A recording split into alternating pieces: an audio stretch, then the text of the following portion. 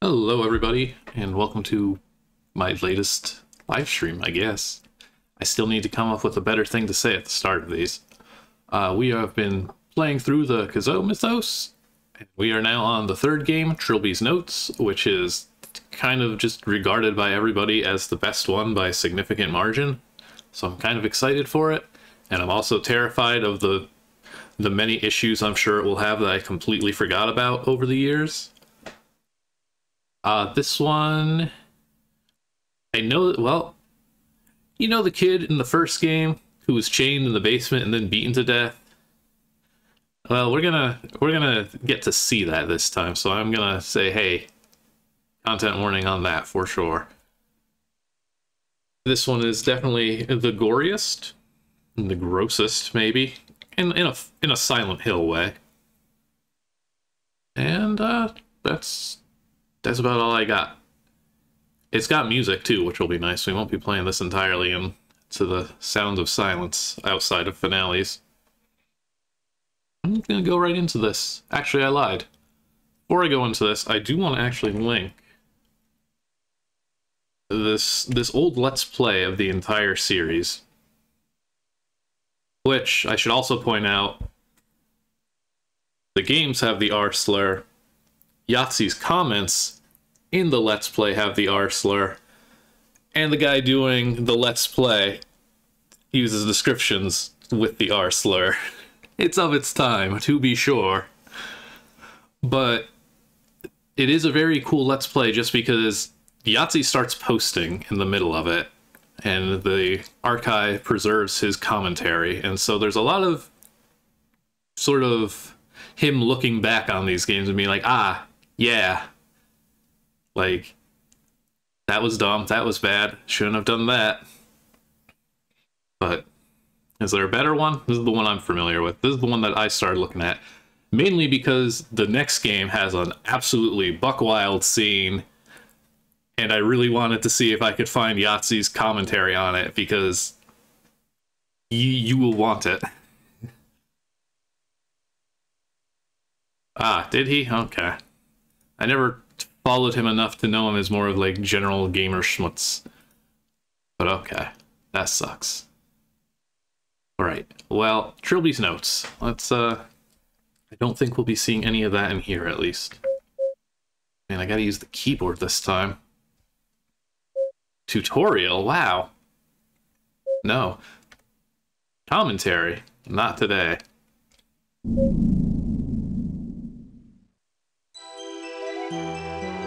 Following documents are taken from the handwritten notes of Trilby, an STP field operative whose real name remains unknown. That went away a little too quick. Game over. Ah, well.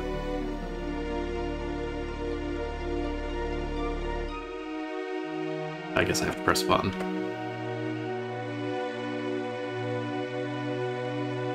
That was what I thought as I stood and watched the Defoe Manor collapse into flaming ash. The ordeal was over. Those five days cost us all so much. Philip and AJ paid with their lives. They were the fortunate ones. Jim Fowler was expelled from school for truancy, a bright future in tatters. Kid reading Treasure Island and Terry Pratchett. No longer welcome in the British educational system. Simone Taylor took to the bottle. Her broadcast became slurred, her eyes hollow and unwelcoming. She soon vanished from television screens. As for me, I tried to return to life as a cat burglar, but I had been forever tainted by my time spent in that wretched house. Gonna say, this font ain't great on modern displays, like this is still pretty tiny for me. The memories of my possession came back in my nightmares. Every night I was there again, in the mansion, staring out through unfamiliar eyes as Philip died at my hands. I became convinced that John Defoe was not at rest, and that someday he would return for me. I became so terrified of invisible enemies that I forgot about the tangible ones. Trilby caught! Infamous thief. Captured. What does that say? Two, oh, that's a W. Two slow, miserable years after Defoe Manor. A barrage of truncheon blows taught me a harsh lesson in reality, and I woke up in the kind of filthy cell I assumed would be my new home. But then he came, the man from the government, with his nervous smile, offering an alternative. The STP, the Special Talent Project. The government loved Trilby so much. It hadn't been that much earlier, I thought I would have sooner died than entered an obligation with anyone, least of all the government. Had Defoe Manor changed me so much? Whatever my reasons, I left my past behind and resolved to give my new superiors nothing to complain about. Spent a year and a half completing assignments, developing contacts, building a reputation. And then the past caught up. In the summer of 1997, I became concerned about Simone Taylor's mental well being. The papers were reporting her continual breakdown, and she had become a virtual recluse. I had no idea if my appearance would assist or hinder. I had, after all, deliberately allowed her to think me dead. Presumably she knew differently now, after the media coverage of my arrest, but I would expect her to be bitter about my subterfuge. On balance, on balance, I decided that a meeting with an old friend would most likely be beneficial. I came to an apartment building on a warm, stormy night and braced myself for the encounter. Here we are. Look at me go. That's a that's a man with a confident walk. It was a warm and stormy night. So, you move up and down extremely slowly, but you really get going horizontally.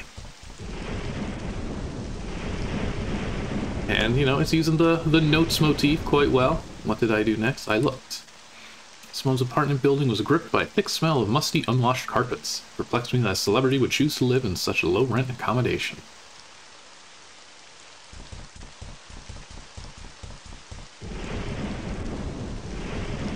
Summer Storm. Is this her apartment or is it the next one? Okay, I'll be I'll be nice. Do I have an inventory? We got lockpicks, that's good. Alright. Door is locked. Knock. Knock sharply upon Simone's door. Knock, knock. Receiving no reply, I knocked again louder.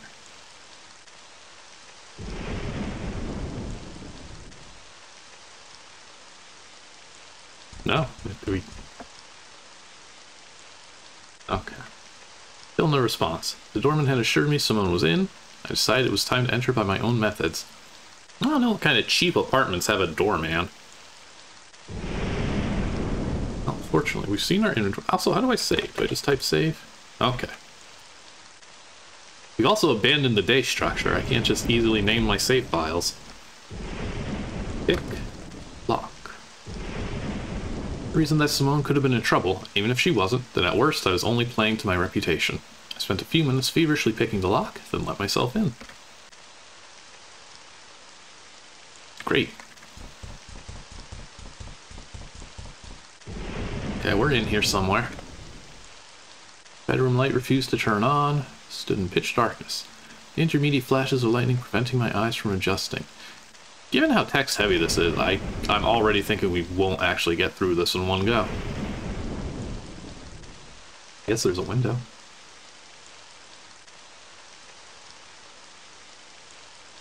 Open the blinds.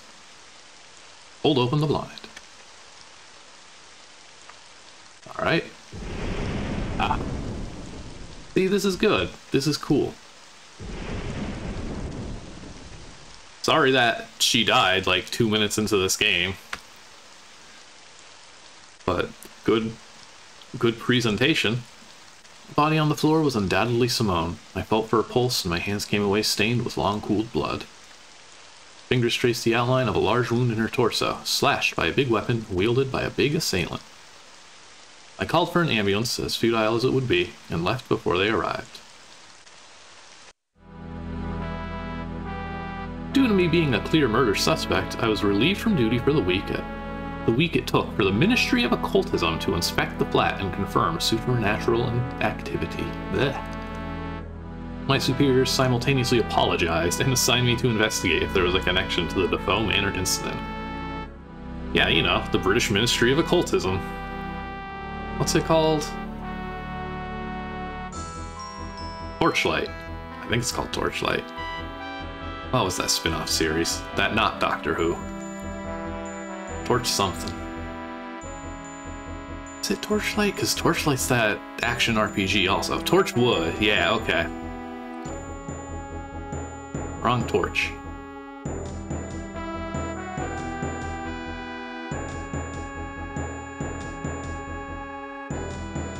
Merely reading those three words capitalized on the front of the loose leaf file brought the nightmares back with more intensity than ever.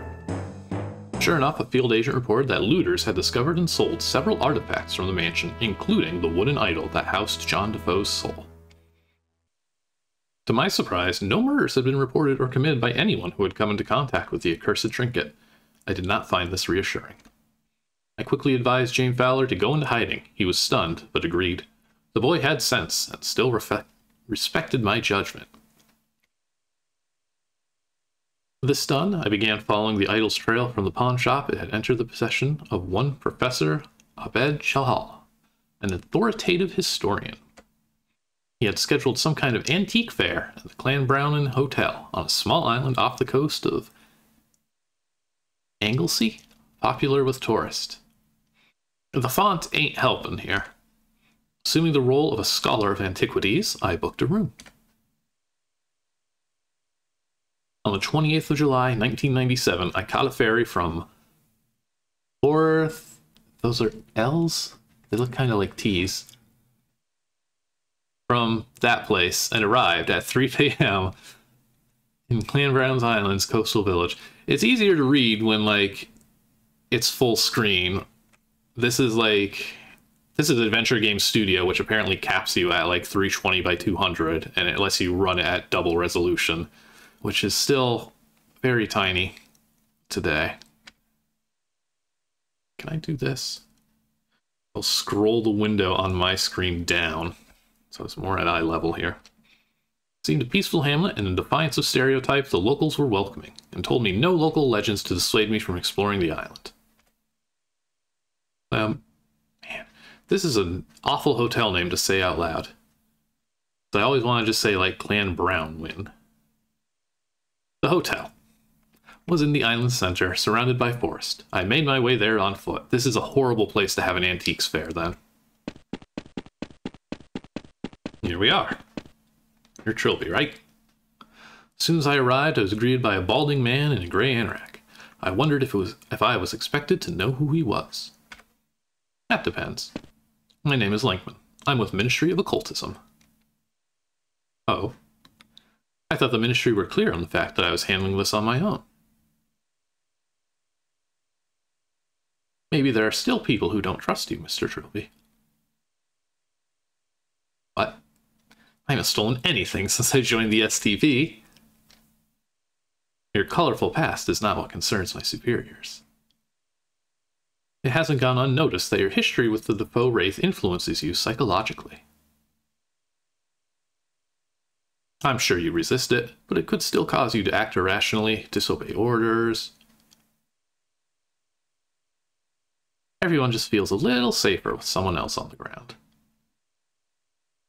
I see. You can rest assured that I will endeavor to maintain absolute professionalism on this assignment. Don't you see my hat? Nevertheless, I have my orders. I would suggest we keep out of each other's way then, and pursue separate investigations. Let's split up. I'm sure I don't want to get mixed up in a reunion. Watching him disappear around the corner of the building, I very much doubted that Lankman and I would become friends.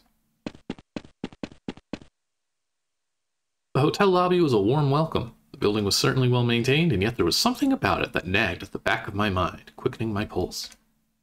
I dismissed the sensation, an act which in retrospect I would come to regret. Terence Railby, everybody. That's our alias. It's very clever. All right, room 3C on the third floor. It has got to sign the check-in book. Oh, Hello, Bethan. Just letting you know I'll be having dinner in my room today. That's absolutely fine, Professor. Then, this, I decided, was what they called a golden opportunity. Professor Chahal? Yes? I'm afraid you have me at a disadvantage. Railby. Terence Railby. We met at Sotheby's a few months ago. No. Oh, You don't remember me. No, no, of course I do. Terry Railby, how have you been? The astute reader had already guessed that both Terence Railby and the previous meeting were utter fiction. I had spent some time studying Chahal's movements and habits. He was, by all accounts, absent minded, and that was something I could use.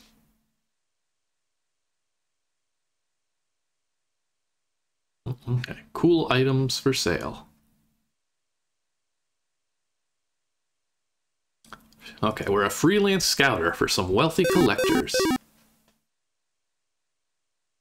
We got a dude who's totally interested in Defoe Manor. In Buckinghamshire. Thank you for the bits, Sin. And also, I think it was before I actually started, started, TGH. Alright, we're just gonna lie. Lie our way to success, as always.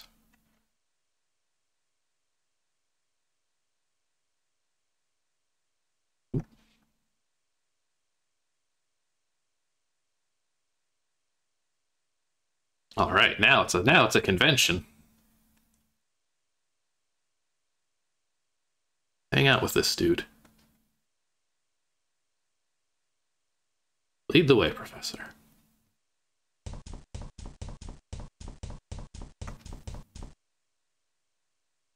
Who's your friend? Hmm. It's my personal assistant, Chauvin. She accompanies me on most of my excursions. Chauvin, this is Mr. Railby, an old acquaintance. He's looking for information on the Defoe Manor artifacts. Oh, really? Him and half the people we meet. What is it about that place? Never underestimate the attraction of a mystery. Alright. Are we in control? No, we're still locked.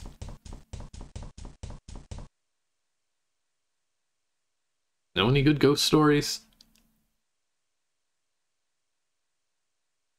No, okay. Scouting on behalf of a client is a great way to not be interested while still being interested. I don't know how old we are, but I feel like it's not wild for a man Trilby's age to... I mean, that's that's correct. That's an old man look for sure. O'Malley. Wouldn't it be more Irish if I tried?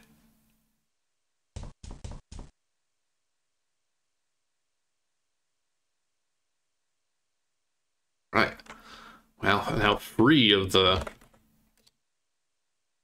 of the limited dialogue conversations, we can talk about whatever we want. Talk about Oh Manor? I don't know. Okay. Professor. Okay, I think there's a... Yeah, okay, F3 brings up the, the previous text. I think that's the same as in Hugo's House of Horrors. Is that just convention? That's, that's probably like a Sierra thing. About antiques. Spell that wrong. Oh my god, I'm struggling here. Talk to Professor about the manor. There we go. Something works. Right, everybody's surprised that, you know, all these cool wooden items survived a house fire.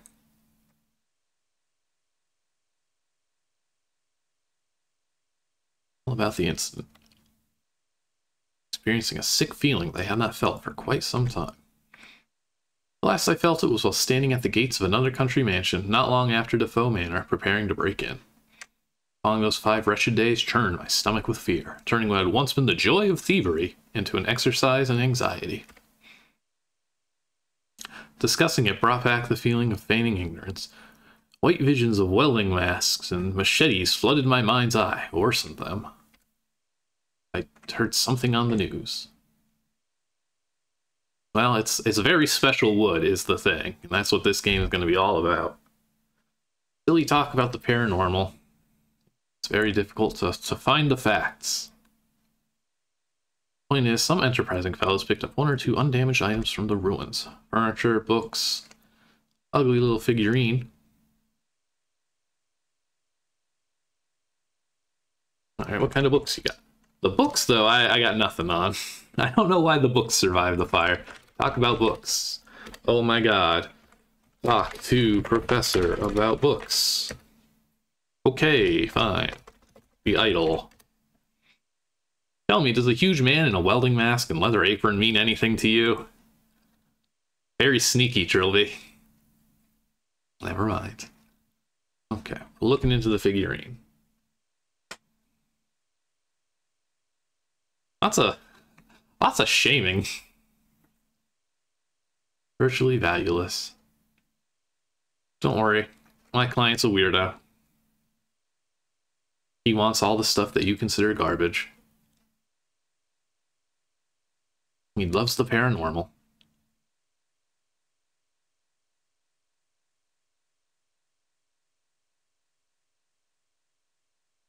Alright, open and shut case. We're just gonna hand the man some cash, grab the trinket, and get out of here.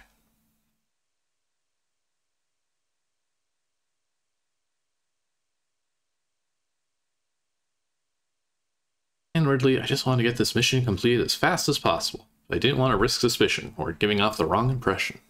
That'll be fine. So now we just get to, you know, five days in Antiques Fair. Lots of ends, silverware, ceramics, a burnt rocking chair, and the painting, of course. Landscape from the wall in the man mansion's lounge. Of little artistic value, but the artist features prominently in the Defoe Manor's colorful history. I don't think I ever actually looked at that painting when I was playing Five Days, but yeah, Matt Defoe did his little landscape. That was the one painting his dad like didn't hate him for doing instead of being a military guy. Well, and it was even there in the lobby, and I didn't notice. Oh.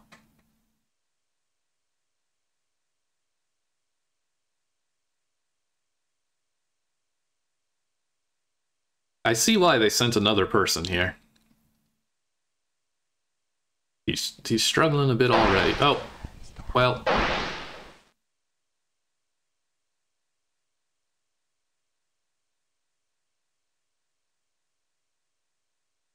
Seen a ghost. You didn't see it? See what, Mr. Railby? I'm sorry, I I have to go. Something's wrong. Oh, well, we won't keep you then. We'll see you later, maybe? My head was spinning, and a sudden nausea churned in my gut. The world seemed to be pulsating, the corners of the room wavering like a heat haze. The body is here, the soul is not. You may say I imagined these things, and I thought that must have been the case. Was I going out of my mind? Was the hotel really changing into some nightmarish twin? Was I the only one who could see it? If I was hallucinating, it was too complex. The harsh wooden floor beneath my feet felt real enough. The horrendous stench of rotting flesh that reached my nostrils could not have been conjured by my imagination. I decided I had to find John Defoe's idol as soon as possible. If not that, then at least the painting John had mentioned. I was convinced that some connection lay between Defoe Manor and the sudden madness.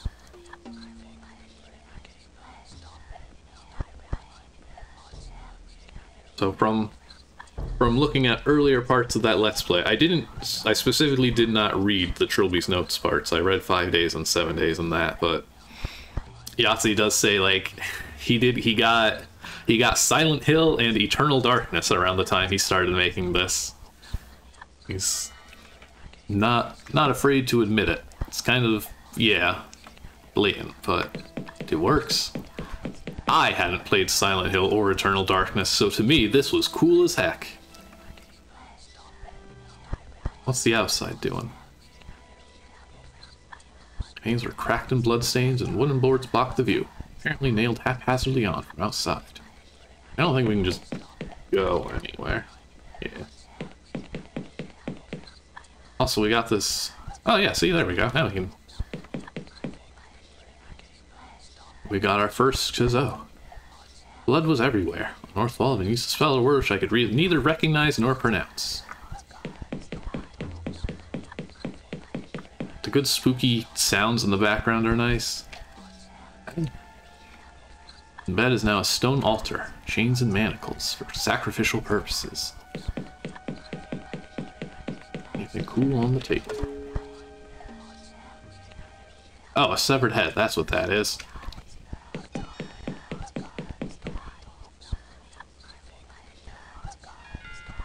Big issue with this one is the number of times I'm going to be typing open door. Also, I was complaining about moving vertically. Welcome to the stairwell. Run. Can you move diagonally? No, didn't think so. But it's worth checking, because nobody knew you could do that in Hugo. Hmm.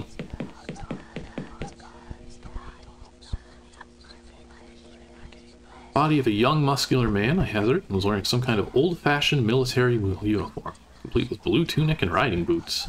More to the point, his head was missing, missing, and his hands were worn down to bloody wads of flesh and bone. And then I pressed a button and lost the rest of the description. Handwritten pages on the floor. Okay, that tracks. Get papers.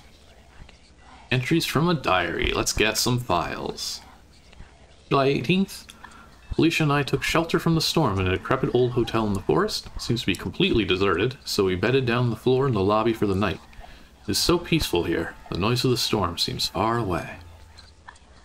July 19th. Exploring the hotel has become increasingly clear that this place is not as innocent as it first seemed. We found ancient corpses and evidence of terrible deeds in several of the rooms. The storm has cleared, and we intend to leave as soon as possible. July 20th. I am certain now that devilry is at work.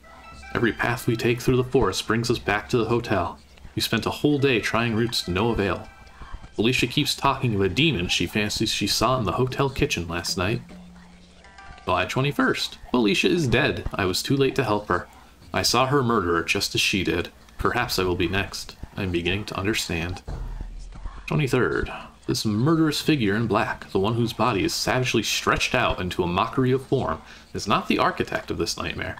Rather, this is the work of that hideous lord of the Forbidden Lands. Gods forgive me. I built a shrine to my captor in the lobby in an attempt to appease it. Nothing has changed. I have no more food. The horror is starting to affect my mind. certain my mind is going. I imagined for a moment the hotel the hotel had changed had become finely decorated and welcoming as it must have been in the past. I blinked and it returned to its normal hateful self. Next few pages are sprinkled with blood. What is his relationship to that disgusting beast? Is he a servant or a prisoner? Sometimes he acts alone. Sometimes he... Uh, something... So, oh, sometimes at the behest of a higher power. What does he want from me? He is after me now. I think I must have done something wrong. He hurts. It's the last readable entry. I decided not to take them with me. They were covered in blood and all stuck together. Spooky stuff.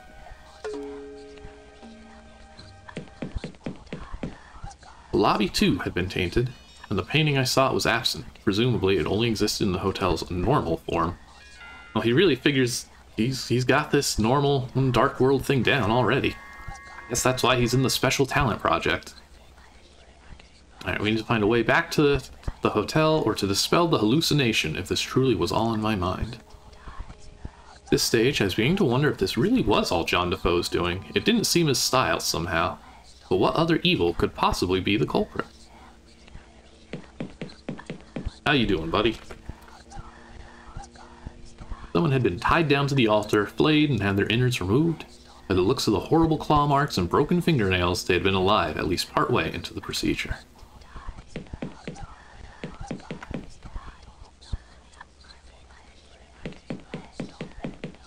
Check out the pentagram. Pentagram cow skull. Oh, was that your offering?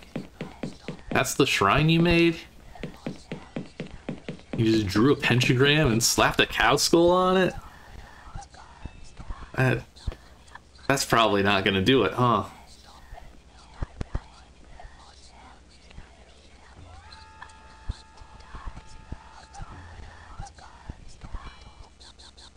Oop. Well, that's fun. Don't don't accidentally minimize.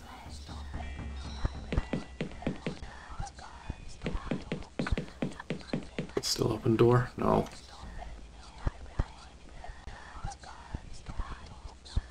I love that this uh the tall man, as he's known for most of this game, just has his own little painting here. Left poster was some kind of portrait of the strange masked figure I had glimpsed in the hotel. The middle poster was blank, the third was smashed. Do we have Centipede? Okay, the arcade machine is damaged. Not very helpful. Anything I should be picking up? I've got a walkthrough open, but...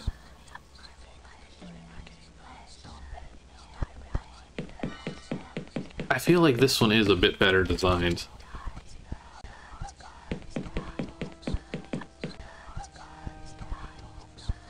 Ah, here we go. Here's an item. Some meat. Uncooked meat with ribs sticking out. The center table that seemed to be attracting insects beautifully. I tried not to think about what kind of meat it was, but I did take it. Uh, sorry, some of it. A lump of meat. If I come up against anything hostile and carnivorous in this place, I'll throw rotten meat at it.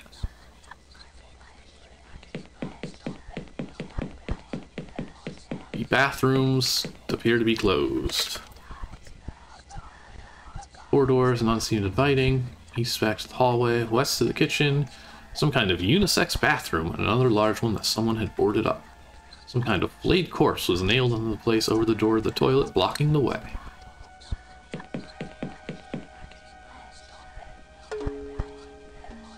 Okay. We're not getting through the nailed up one, that's for sure. Actually.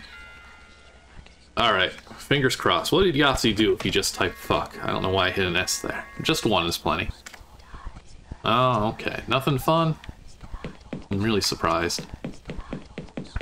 Alright, this hotel sucks. That wasn't what I wanted to... Hugo lets me type in advance as I approach these doors. The Clanbronwyn Hell, everybody.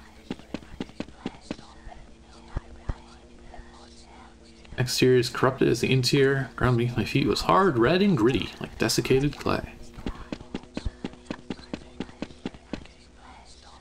Hmm. Right. Here. Head. There we go. Two heads on the right were decayed down to their skulls, but the one on the left was very much fresh, its features made unfamiliar by the torment it had undergone.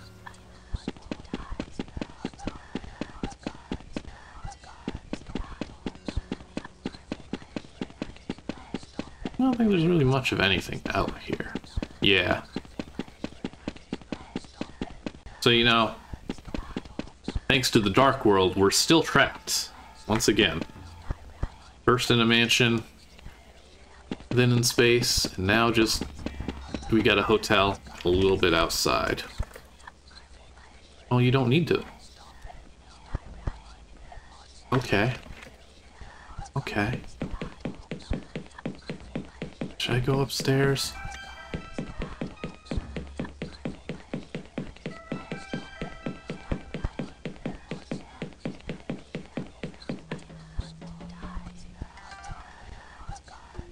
Oh, okay. Yeah, once again, the walkthrough is just going to save me from backtracking.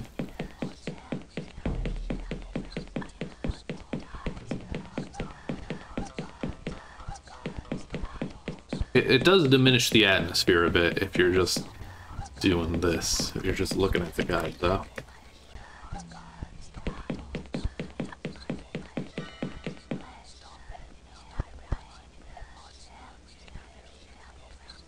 This one it?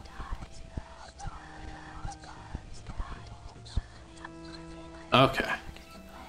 Yeah, you gotta really use your eyes here.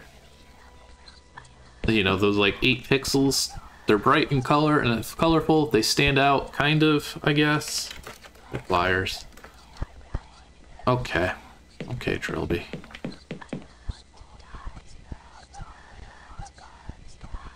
Three pliers.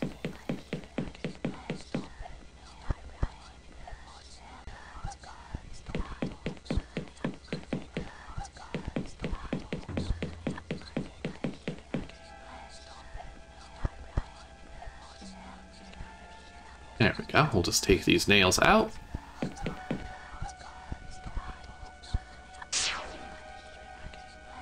This guy. And now we can go to the bathroom. How's the mirror? Pretty bad.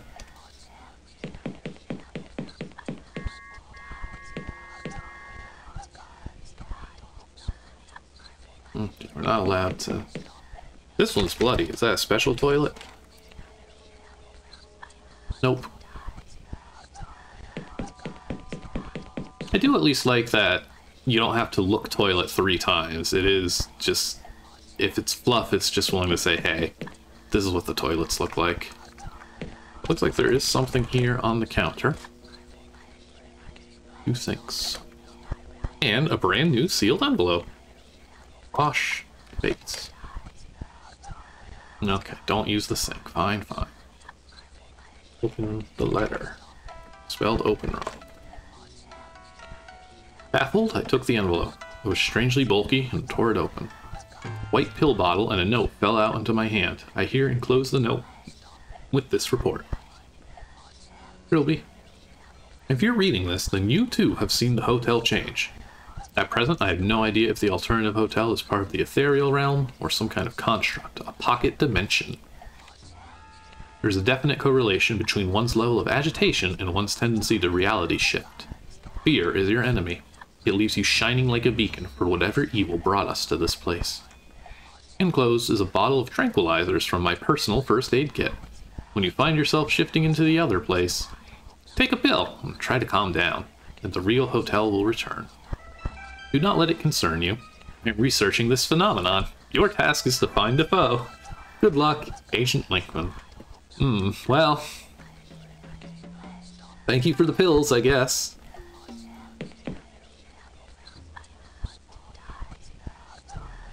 Okay, tab just pops open the inventory. Lockpicks, pills, and a lump of meat. Let's take a pill. Let's take a chill pill.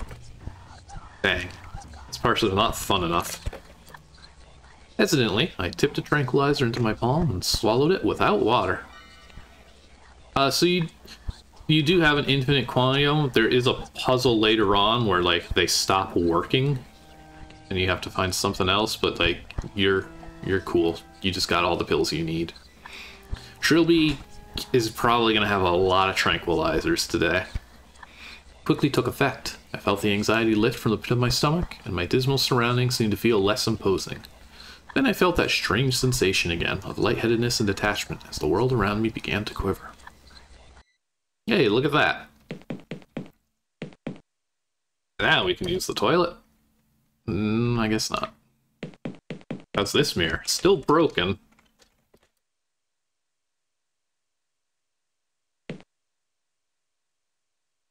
Washed my hands of grime, splashed cold water into my face, and then dried myself quickly. It's, it's a nice bathroom.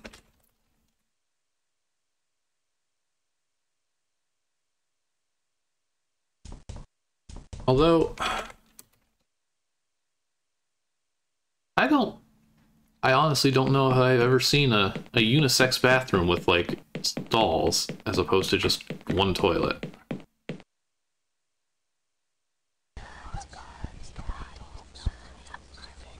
Okay, we're here now. That's true. This is. Oh, we're back. I was throwing my hands in the air for too long. All right. The hotel is one step above a bed and breakfast. I enter the Light World kitchen? No. It's very mysterious. So the game really likes to do the link to the past thing and make good use of the light and dark world shifting, and that's gonna be important. We can see what this room is that we couldn't get to before. Never mind, it's locked by a deadbolt on the other side. That's interesting.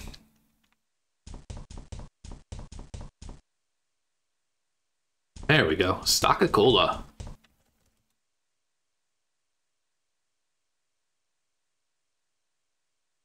Vintage advertisements. All right, the arcade is broken. A pub quiz. Oh, never mind. I don't care for that. Out of order. The bar looks nice.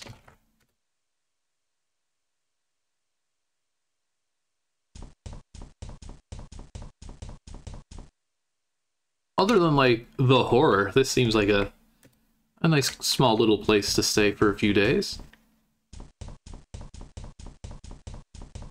Ah, right. Oh, we're out of Silent Hill, but whatever.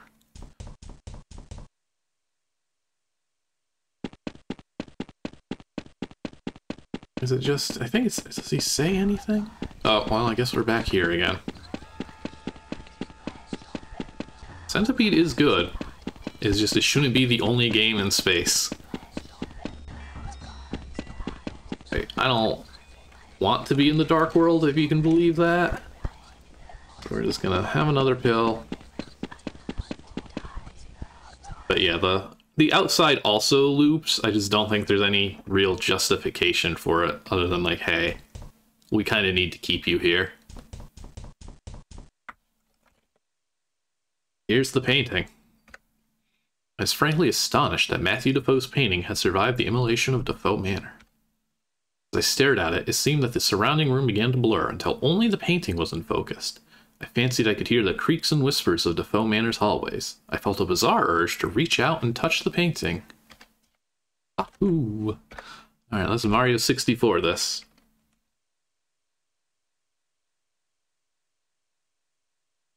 Oh. Hmm.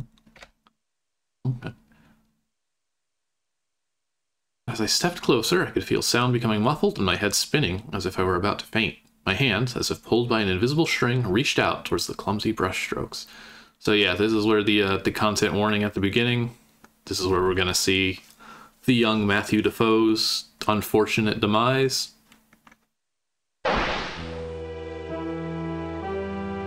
Defoe Manor, July 28th, 1821.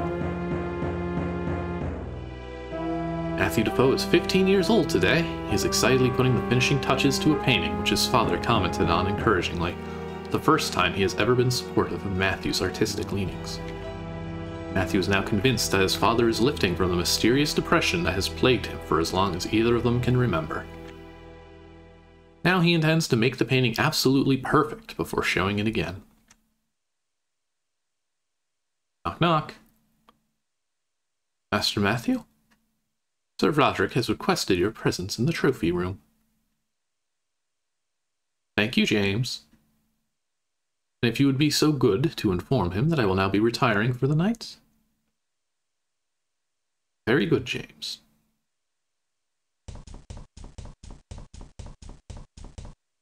Ah, there you are, boy. Let me introduce my son, Matthew. Hello. This is my friend, Mr. Smith. He's an expert on African tribal art. Well, just a scholar, hardly even that. Just someone with an interest in the subject. And he has offered to assess the figurine I brought back from my travels. I wasn't aware you had a family, Sir Roderick. Is your wife home too? Regrettably, Belinda is no longer with us. Oh, I'm sorry. Quite all right, you couldn't have known. She succumbed to illness shortly after Matthew was born. I finished the painting I showed you, Father. Oh, good. Well, Mr. Smith, what do you think of the piece? It's an intriguing little puzzler, actually. The design is reminiscent of a few Central African tribal gods I'm aware of. But to be honest, I've never seen anything like this before.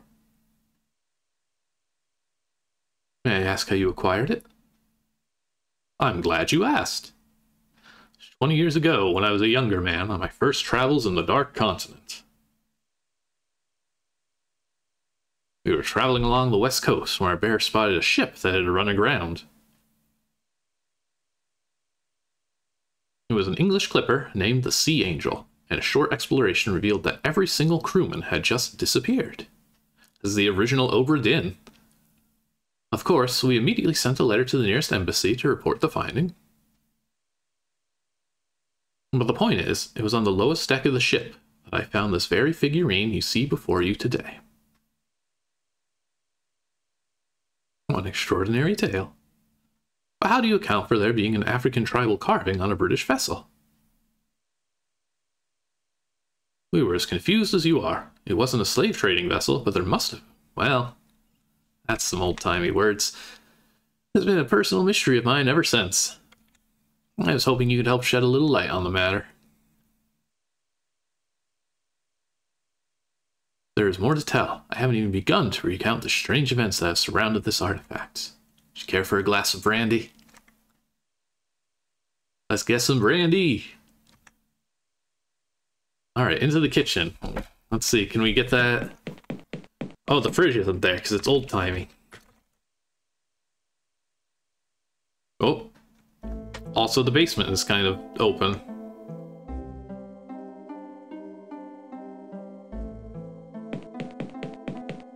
I did another painting today. I showed it to father and he said it was promising. I keep trying to tell him about you but he never listens. You haven't knocked for me in so long, I was beginning to wonder.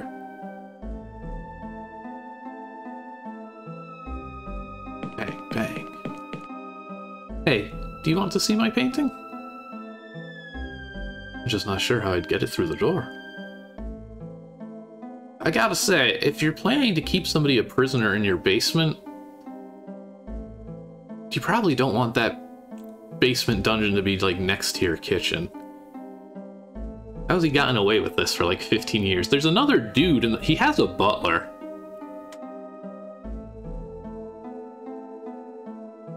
How could I, truly, have possibly known what Matthew was carrying that day? Okay, okay, calm down.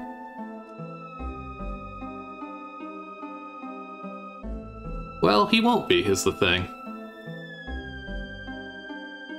Not in this one. He's he's just one of many incidents.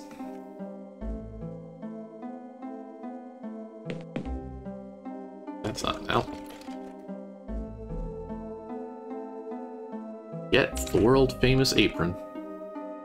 Oh, I guess. Okay, well, I thought we had to slide it under the door with the apron. Slide painting under door. We'll just we'll just do it raw. Just give it back when you're finished. How dare you, sir? You intrude on my hospitality and insult my judgment? That's father. Get out of my house, you worm! I better see what's the matter.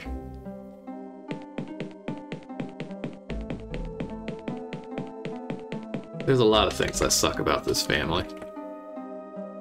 And for this family. Oh, it's you. Father, what happened? I heard shouting.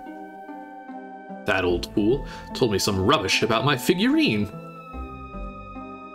Said the only tribe it could have come from all died in slavery years ago. Actually had the nerve to accuse me of buying from a forger. I'm sorry, Father.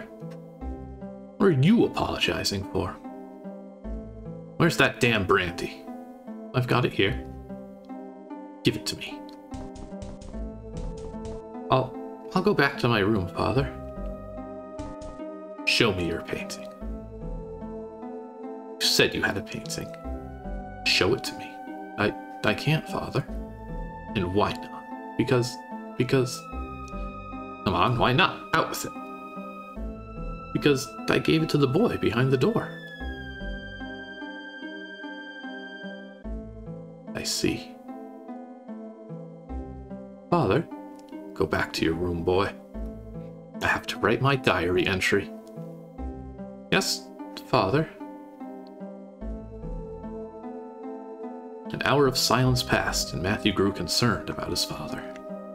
Strangely, the most disturbing thing had been Sir Roderick's reaction to Matthew mentioning the boy behind the door. In the past, raising this had usually provoked a violent rage or an instant flat denial. Matthew wondered what sort of anxiety was going through his father's mind. Smash. What was that? Father, what are you doing?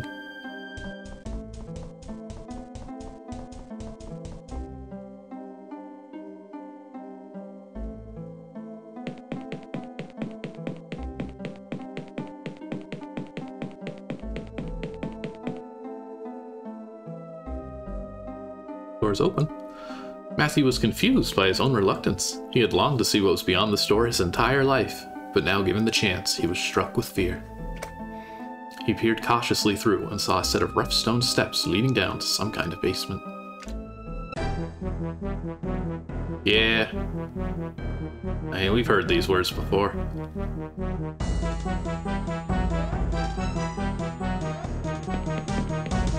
Father, what are you doing?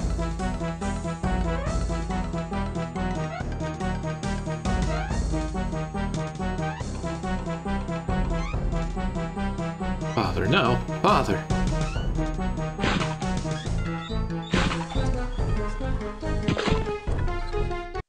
Ooh. My apologies, dear boy. I couldn't resist. You look so lost in that painting, I don't think you even saw me come in. I, I, what? Is everything all right, Terry? Y yes, everything's fine. It's just, just for a moment there, I thought I saw... Never mind. Siobhan and I were talking about you after you ran out of the room. Said you seemed like something was making you terribly anxious. Frankly, I think that's still the case. I'm okay. Really, I am. Well, if you're sure.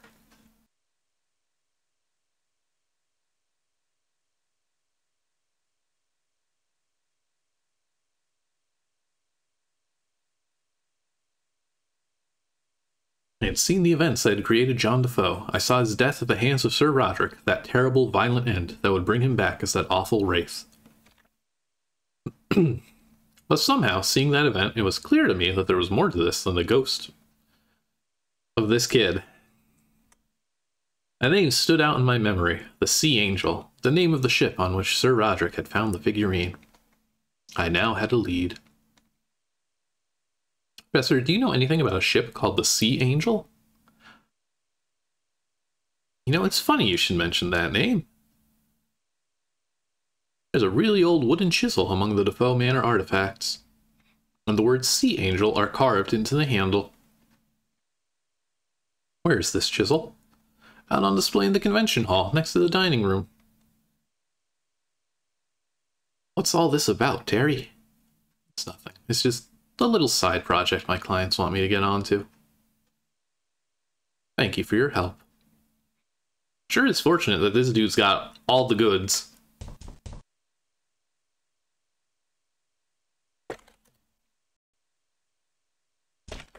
And there's something in the painting now. Get e-paper. Oh, this parser just does not allow fun. Was a page from a religious book I wasn't familiar with. I here enclose it with these notes. Victim 5, the child. The fifth man who desired judgment was the child, whose father held the carving of the slave. The prince came to him and was at once rightly pleased with what he found, for the house of the child and his father already knew well the name of the king.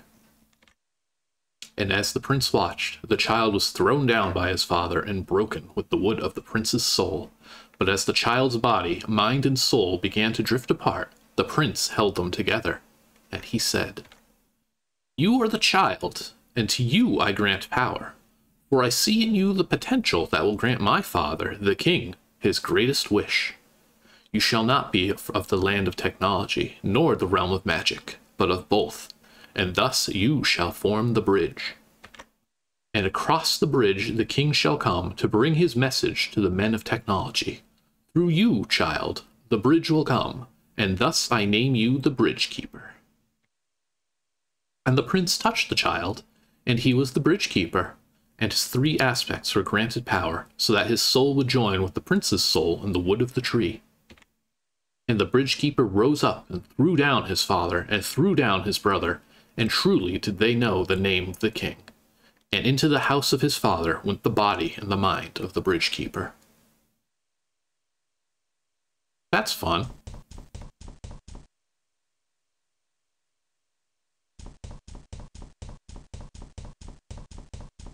Let's go see Angel. I think we can go in here now, I hope. Now that's no longer dead bolted from the other side. Nope, okay. I know that's where it is. Um, Alright, you know you know the rules. Before you climb all those stairs.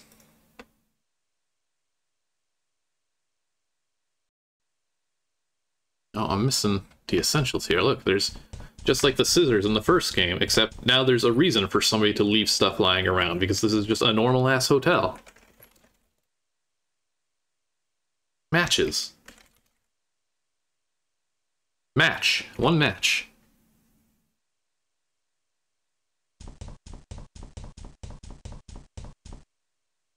What?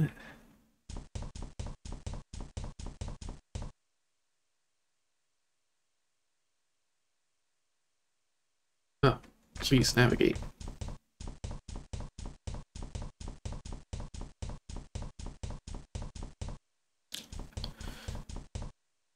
You have to go around all the stairs too, you can't go behind them. Does AGS just not allow that? I guess there really hasn't been much in terms of like complex layering in these games.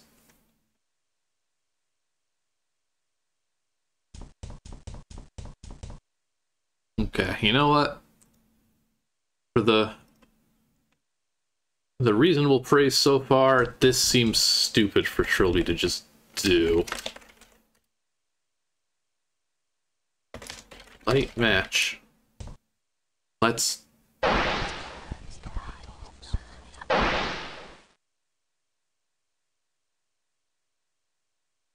We just, you know, tried to set off a... Well, I guess we did. It just didn't make a shrill noise or anything. We just lit a fire, a match by a fire alarm to open the fire exit. I don't... We've got no justification for this, honestly. It clicked the door, like it worked out in our favor. I can't give you a reason why Trilby did this.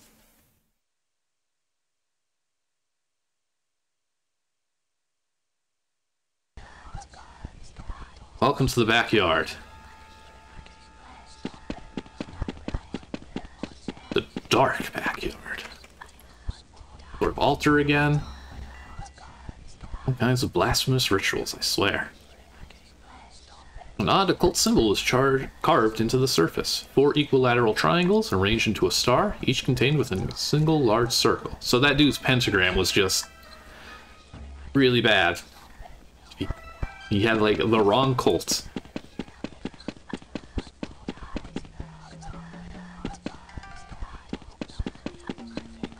What we got here? It's... Oh, pills. See, I hate the, the L's and the T's.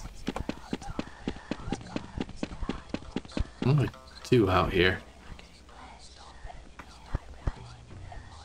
Shelter?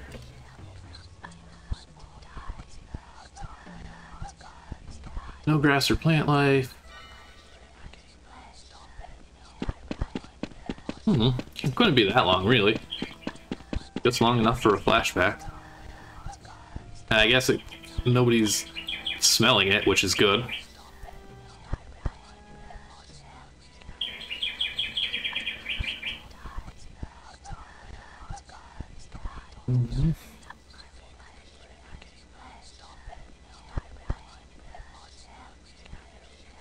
Oops. Sorry, what is it saying?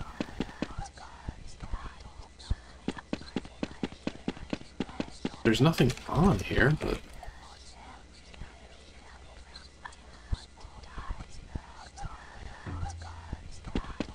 This walkthrough is telling me there should be an item here.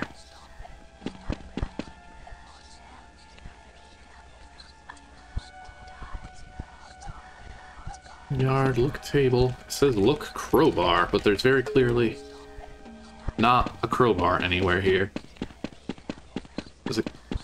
No? This seems incorrect. How do I get out of here, even?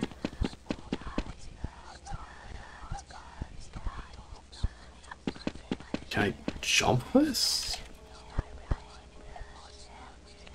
Oh, I I spell it wrong.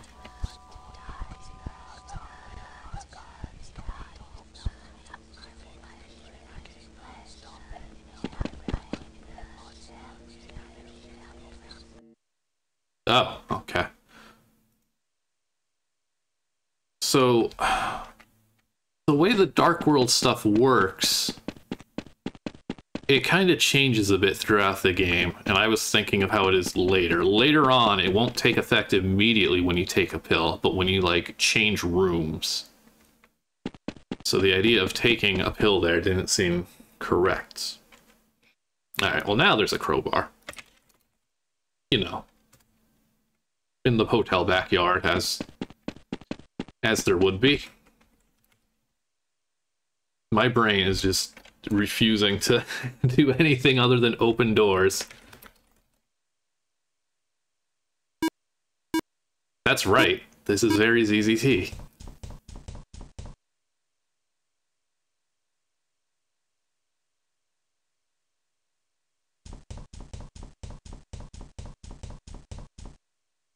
Okay, so now we actually want to reality shift.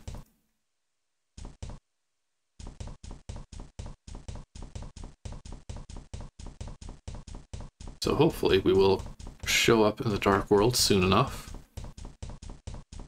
And that's also just like our random thing. If you ever want to force a change, you just kind of hang out at a door.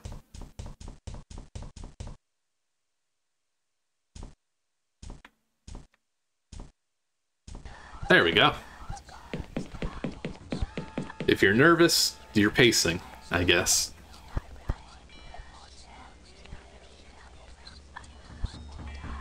What? Right is.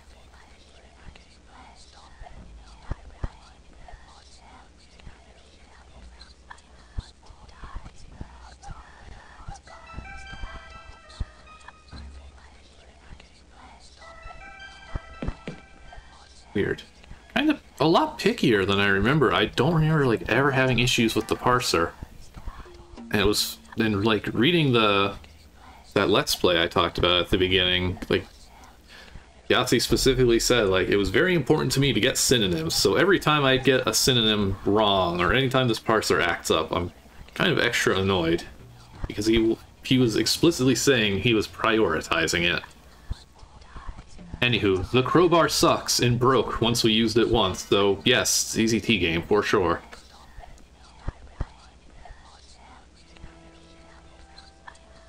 Open door. There we go. Look. Oh my god. Smell this room probably hadn't been ventured in for years. Desiccated corpses dangled from the ceiling, left to rot by some warped interior decorator. You don't understand the word garbage. Is it look trash bag? Look bag?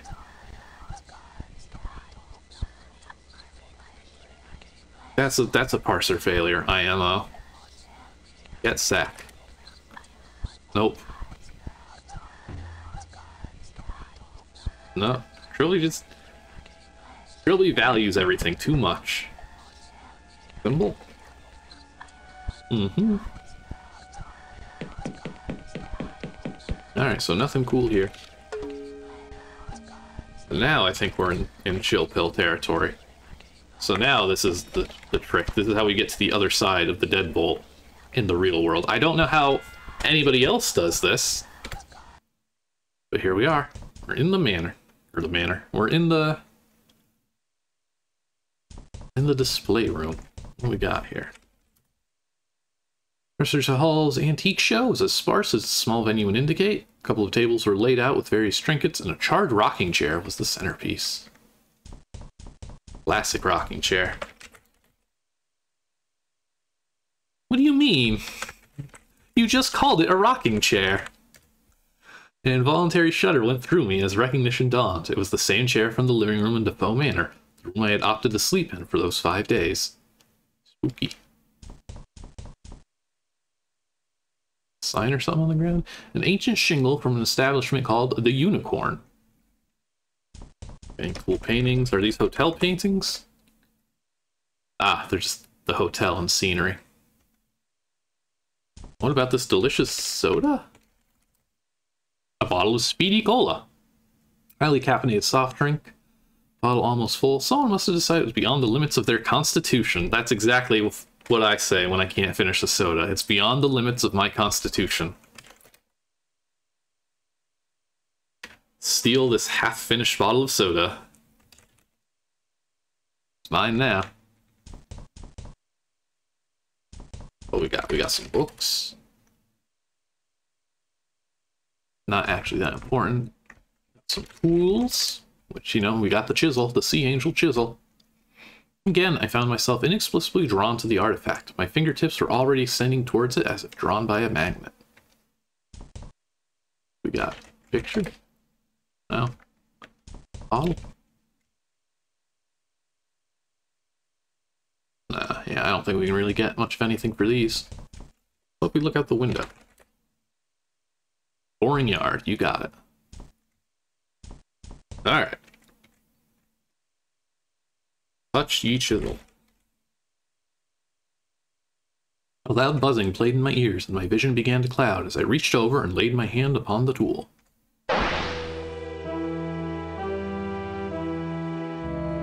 Somewhere in the Atlantic, July 25th, 1789. What's this guy's name? Mabauta had been a great warrior. In battle, his skill was to unmatched in all of Africa. Yeah, okay, we're just gonna roll straight into some stereotypes here. Anywho, the white man came. He was being sold as a slave, along with a whole bunch of other folks, but he got sick, so they threw him overboard and left him to die.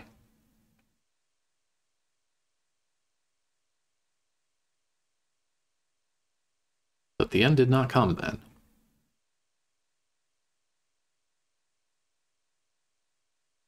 Coming around, Captain. Voices unfamiliar, speaking an unfamiliar language. Mabota was suddenly terrified that the slavers must have returned, but he was as weak as a newborn and could not move or speak. Like we picked him up just in time. Don't know how long he's been drifting out here, but he can't have lasted much longer. Good lord. Look upon it, men, the greatest evidence we have of humanity's inherent evil. Never forget, men, never forget that men, sailors such as you or I, did this, left this poor wretch to die. Slavers aren't sailors like you or I, Captain. No. I do not know how those devils can have the audacity to still call themselves human. Today, there is no pride in being an Englishman. Find our new passenger some quarters, make him comfortable. Passenger, Captain? Every innocent who sets foot on my ship is a free man. There's something about this policy you find questionable? Not at all, Captain. No, these were not the slavers. The ship was different, less crowded with terrified faces. There was anger in the voices of the white men, but not directed at Mabota. Still frightened, but somewhat reassured, Mabota passed out. Days passed, health restored. We've been rescued by the ship of these good white men had been a fantastic stroke of good fortune. Thank you, white saviors. He decided that it had been the will of the gods that he should survive, and that proper thanks would be in order. Yeah, so we're gonna carve an idol. We just need, you know, some stuff.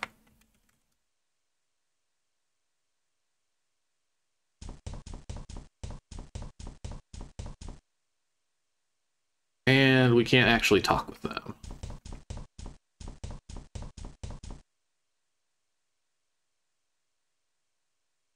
Barrels.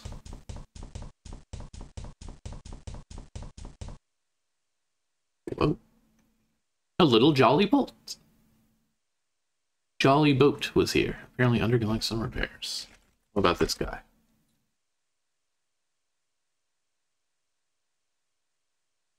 Okay. Well. This dude's got a Jill. All right there, laddie.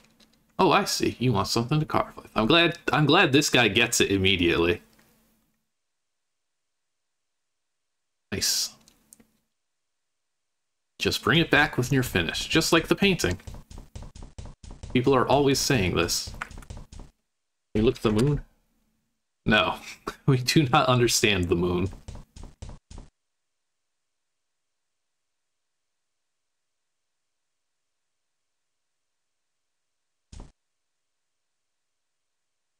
Large crate was sitting in the shaft of light with letters stenciled on that Mabota did not recognize. It was cheaply made with poor quality nails, and some of the boards looked ready to fall off. Get some wood.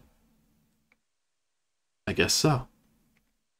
Oh, well, I guess we got wood and we got a chisel. Well, that counts. Carve an idol? Yeah. The chisel and the wood of the crate, Mabauta could finally create his offering. After several hours, Mabauta was very pleased with the result. A fine rendition of his kingdom's god of fertility and good fortune. All that remained now was to return the chisel. That should be easy enough.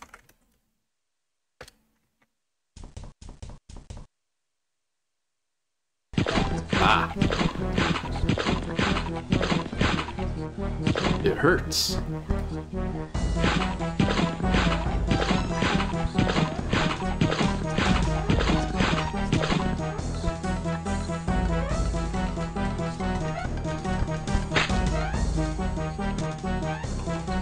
Goes.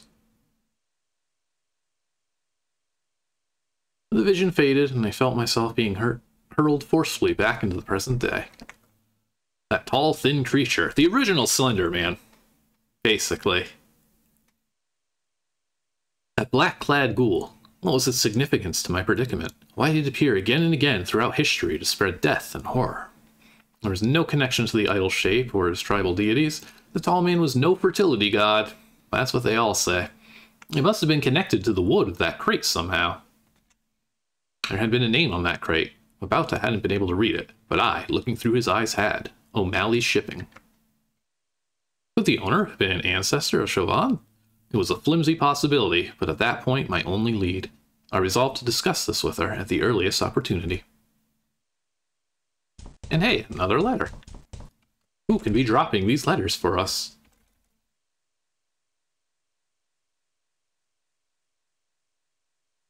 Really? You're like two pixels away. Have to...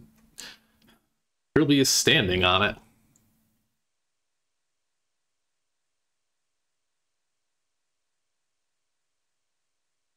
Probably a bit of that.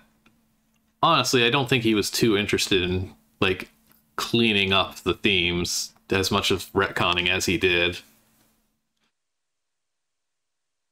Victim 4, the slave. The fourth man who desired judgment was the slave, who had not been brought Freehorn's message, and who tormented the wood that was the prince's soul with a sharpened blade. The prince came to him, and he struck the slave down, and he knew the name of the king. And the prince said, Not one of your household shall I leave alive, slave, for thrice now I have brought my warning, and any who still fail to heed shall be named as fool and judged most unworthy in our sight.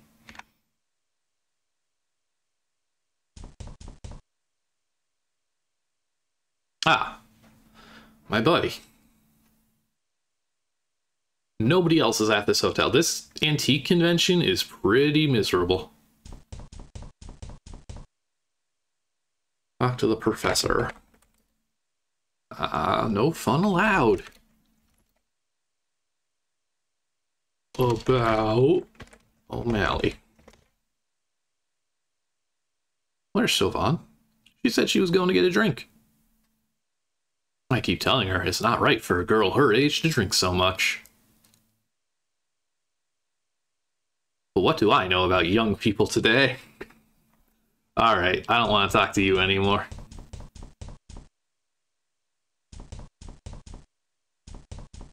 Actually, can I talk to him about the chisel?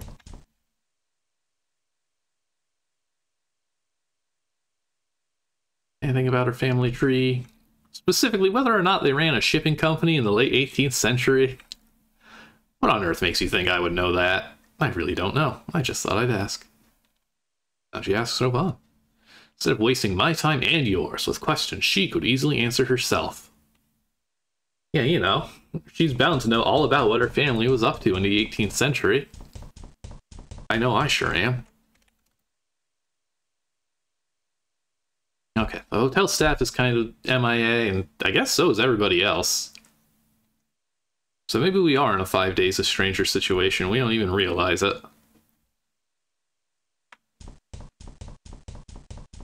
I'll get right to the point. How do you spell this? About shipping? I guess that works. Do you know anything about the history of your family? I want to be much of it. Okay, she's a history student. She's allowed to. This you did it. You justified this successfully. Yep, she's even doing that. Okay. This is a weird question, but hey. Man in a fedora walks up to you in a bar. Did your family run a shipping company in the late 18th century? That is an odd question, but I do remember reading something about O'Malley shipping. I'd have to check my notes. I left them in my book bag. Did you meet me in my room about five minutes? I'm in 2A, next to a bed. Well, yeah, I mean, generally when you're in a hotel room, you're next to a bed. Thank you, everybody.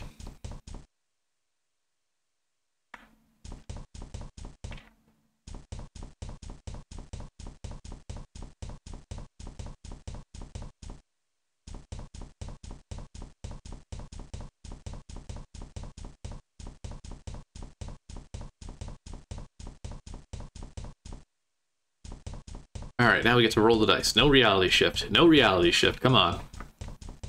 Yeah. Wait, wrong floor. Ah. That's okay.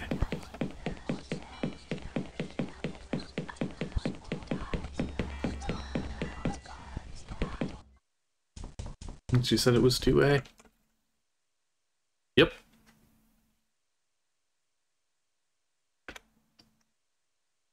Alright. The papers. Trilby is strictly business, which is the appropriate thing to do. You should have sat on the couch, Trilby. I have these moments of illness. What do you want to talk about? Defoe Manor. Oh. Kind of interests me. I was really into the media coverage of the incident at the time. Client of yours, the one who wants the figurine, what does he know about it? Well, he has an interest in the occult, and there's some nonsense story going around about it. Something about the idol being a vessel for an evil ghost. I wasn't really paying attention. Really. I don't remember hearing about that in any of the reports. No, you wouldn't have. It wasn't widely... Have you heard the story that Trilby was in the house? I could feel cold sweat. Ruling. I don't think that word means what you think it means. But wow, you managed to make sweat, like, extra disgusting. Good job. Cold sweat drooling down my spine. Every fiber of my being was concentrating on not giving any outward signs of alarm. Siobhan spoke of my secret name with a wide-eyed enthusiasm. No one believes it, but Simone Taylor insisted it was true right up until, well, you know.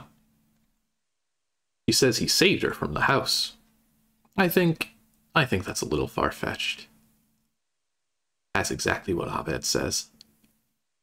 He says a ghost is one thing, but throwing Trilby into it just makes it seem silly. Truth be told, I don't think Abed believes in Trilby any more than he does ghosts. He's so grounded in reality. A sensible attitude. Have you have you always been an antique dealer? Siobhan, please, I came here to talk about... Let me put that another way. Have you ever been an antique dealer? I knew it. The outfit, the hat, Terry Railby. You're him. You were in Defoe Manor. And now you've come here to finish off the ghost.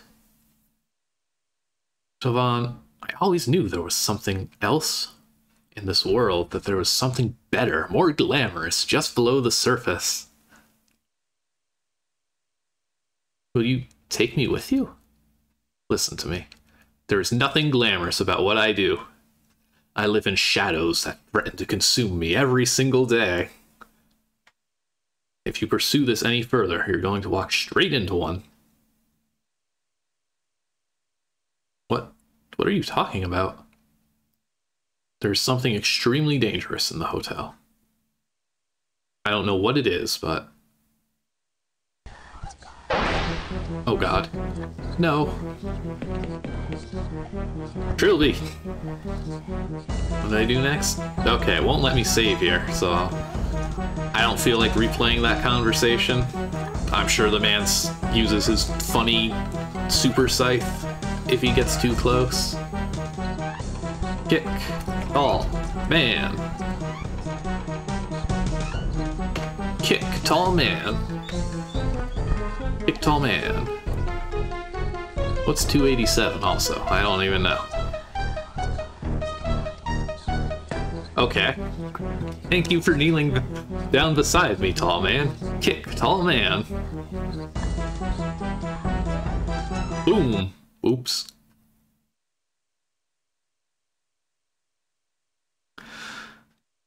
Good job, Trilby. You really... Good work. She's uninjured. She's fine. She would probably be safe on her bed while I continued my investigation.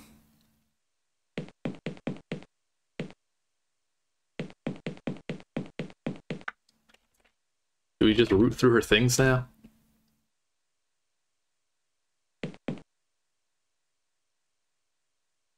Guess not. Alright, later. Sorry I kicked you in the head, knocked you unconscious. Oh no! Please! Not like this.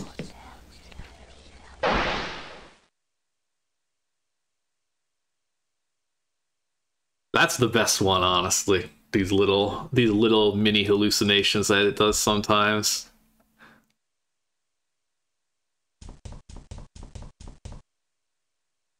See, all of these games end up fitting together in the end. It just took a while for, for him to figure out how the hell to do it.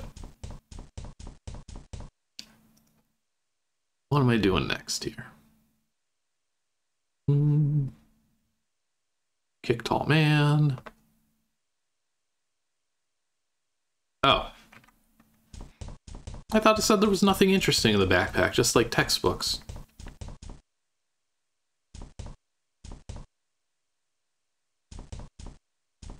Well. Oh, well, I hope she's doing okay. Okay, now we're comfortable looting her stuff.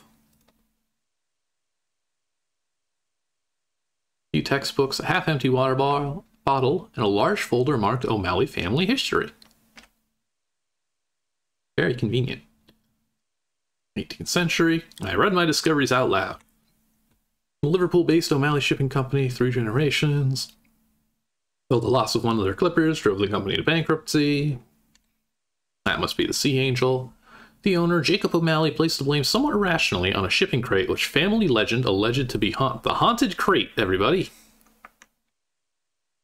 And there are numerous tales of bizarre events surrounding the crate, and the story of the crate's origin is no less mysterious. It goes that a strange young man came to a carpenter's at the Liverpool dockyards with a very expensive looking harpsichord, which he insisted be smashed up and the wood used for whatever purpose the carpenter desired. Should have burned it, should have burned it in a spaceship engine. He refused to leave until the instrument had been utterly broken into its component parts in front of his eyes and the wood sent to be made into crates for O'Malley shipping. When pressed for his name, the man identified himself as one Jack Freehorn. The Rooms of Jack, Jack Freehorn, July 28th, 1778. So what trifle have you been wasting your father's money on now, Jack? What does it look like? Looks like a virginal. A harpsichord, actually, in the Flemish style. Quite old, quite expensive. Well, I suppose I should be grateful that something is distracting you from the occult for once. I fear you may be speaking too soon, my friend. Oh god, I should have known, you and your silly obsession. But what devilry inhabits, inhabits this magnificent instrument? The instrument as a whole is for the most part untainted by the ethereal realm. But its keys are what spark my interest. Unusually, they have been carved from centuries-old English oak. And that's the interesting part? I will not be disheartened by that sharp tongue of yours. The wood has gone through many incarnations before being incorporated into this device. Items of furniture, building material, in fact, just over 200 years ago, it was part of a wall. A wall of a certain inn on a well traveled road in Wales. The unicorn? I'm so pleased you remember. I could hardly forget it, the way you've been obsessing quite heartily over it of late. Your correspondents persist in filling your head with rubbish about ghosts and demons. I count myself very lucky to have tracked down even a small piece of that history. Not history, holstery. I know I've already told you some of the wonderful stories attached to it. And this instrument has had its fair share of mysterious happenings. The usual batch of strange noises, sudden madness, and inexplicable deaths. Yep. This curiosity of yours for all things ungodly has no doubt already befouled your immortal soul. You are a fine fellow, Wilbur. You have not a drop of romance in your body. Now, stop browbeating me for my inquiring mind and let us take dinner.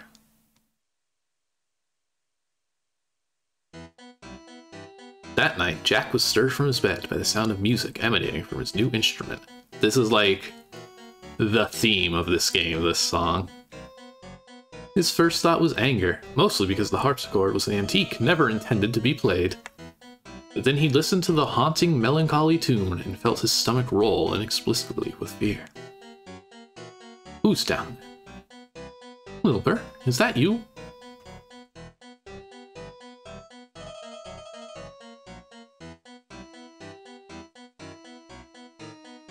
Alright, we desire little for comfort. We got a bed, we got a desk, well, a very low desk. Or could you need? Nothing too exciting. Well, it's an antique. Flintlock pistol. Hell yes. Get gun. Get gun.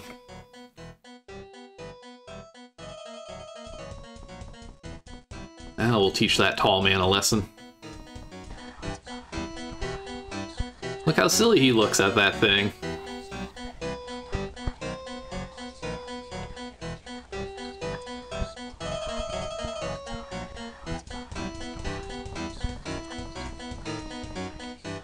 Not take a step further because he realized with a lurch that he recognized the dark figure that sat at the keys. He had read of the strange entity that recurred frequently in stories surrounding the Unicorn Inn and the objects that were later constructed from its wood. And he knew with absolute certainty that the tall man would destroy him were he not destroyed first.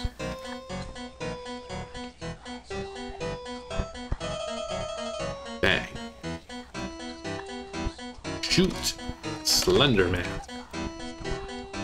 Worth a shot. Well, that's what we're doing. We're going backwards through the woods history, so we, we solve the mystery in the end. Well, we will learn about this wood. Shoot, man. You won't take me, demon!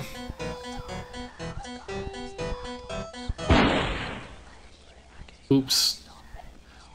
Yeah, so I guess Trilby's kick was kind of lucky then, huh? Wilbur? No. Oh god, no, but I could have sworn. You. I know you. You have. have. Oh god. Please forgive me, your, your majesty, for my transgressions. I am a worthless, craven fool, not worth a second of your precious time. I beg you, spare me. I will redeem myself for my offense. I will be yours forever, my body, mind, and soul. All right. Thank you, my lord. Thank you. One Jack Freehorn. This may well be the same Jack Freehorn who went on to form a bizarre religious cult. A depraved group of paganist worshippers who were spoken with much derision by conventional society. With my latest flashback, my knowledge of the history of the Cursed Wood had gained another step. Yep, Cursed Wood. Before the crate, it had been a harpsichord, and sometime before the harpsichord, it had been part of some kind of. Cannot read that word right. Hostelry in Wales. An inn called the Unicorn. Why did that ring a bell somewhere in my recent memory? I'd definitely seen something in the Clanbronwyn Hotel that was indeed linked to the place, but where?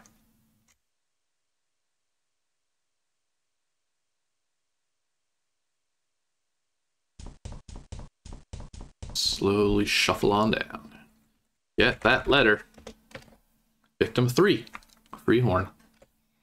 The third man who desired judgment was Freehorn, who had brought from those who made luxury who had bought from those who made luxuries with the wood that was the prince's soul. The prince came and struck down the lover of Freehorn, and Freehorn knew the name of the king. Also, those two were gay. And Freehorn said, I know you now, O prince, who was the arrogant man, and I anticipate your wish, and I will devote myself to spreading the teachings you have brought me and the love of our king. And the prince was satisfied, and Freehorn called all those who would listen, and they formed an order of blessed agonies that would work to redeem the follies of the men of technology. All right. Open the door.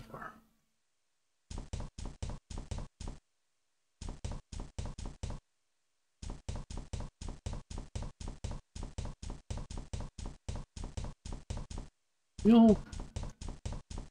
They'll show up a bit more, don't worry.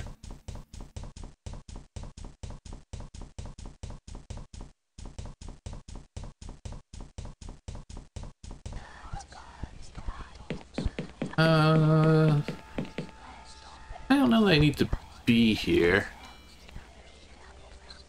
Vehicle, lump of meat. I think we just go straight to the next, uh, oh, hang on. Somewhere to the west, I heard the familiar sound of a door being unlocked. Okay. Oh, Linkman. Linkman, wait.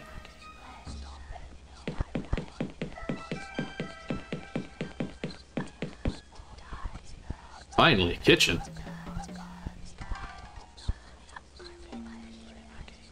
What had once been a kitchen was now some kind of torture room. Found myself wondering whether it was used for extracting information or merely to entertain the alternate hotel's hellish proprietor. What happened to that body? Pain, I guess. It hurt.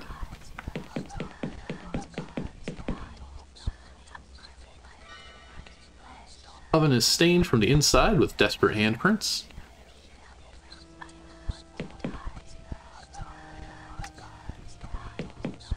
We go out here? Yeah, where this leads. Oh, okay. The old jammed emergency exit. I guess we'll have to start another fire. You head back here.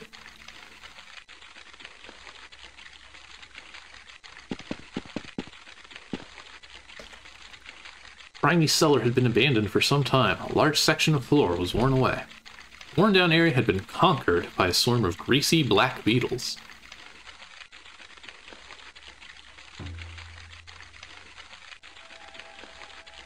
Well, whatever.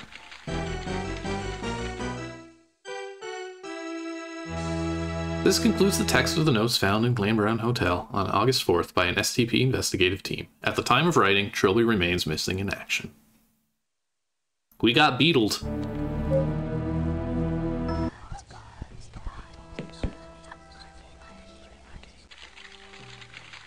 They're hungry beetles.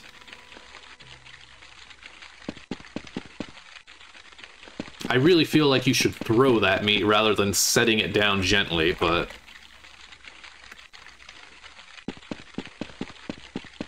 Yeah, because we're all just reading his notes. So if you die, it's just, well, somebody had to find these. What we got over here? We got blood. Can't tell if there's like a body there.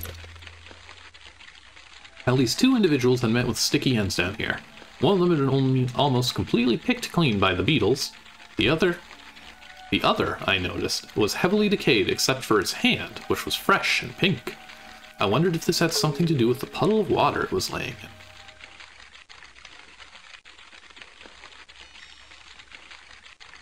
Get the hand? Is this our second severed hand in the series? No? Okay. Trilby won't carry around a severed hand. Only our buddy in the future will. Alright, it was almost as if the water was drawing me to it. Not like a scrabbling thing in my mind, like the chisel or the painting, but more like a beckoning siren. I couldn't help myself. Crouched down and dipped my hand in, it felt uncommonly refreshing, and brought an amount up to my lips, my unhygienic surroundings forgotten. There is still a severed hand in this. I get that it's oddly fresh. As a pleasant feeling of simultaneous coolness and warmth spread from my stomach, I realized that the water had some sort of rejuvenating effect. I had no explanation for this, but at the time, I didn't care.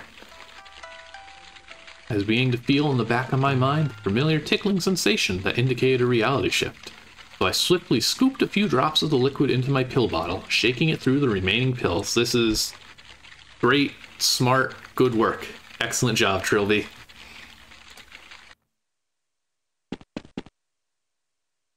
Boxes.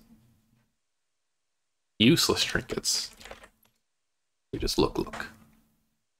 Alright, we got some old crates and a wine rack. A good year. Good enough. What do you mean you won't take the wine? This stupid? Okay, making sure they don't. Getting drink the wine. Oh. What the heck?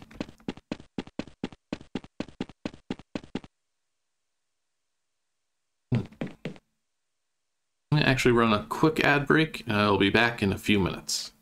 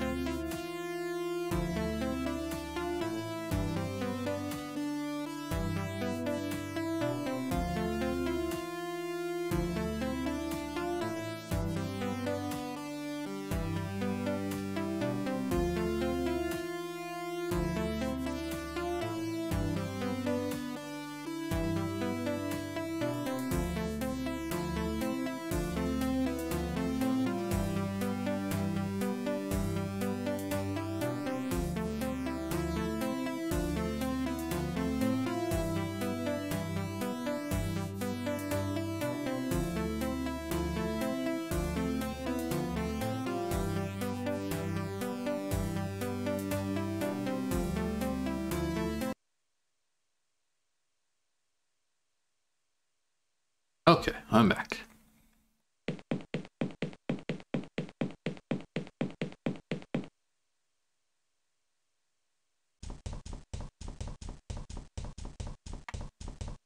Where to next? Actually, quick double check.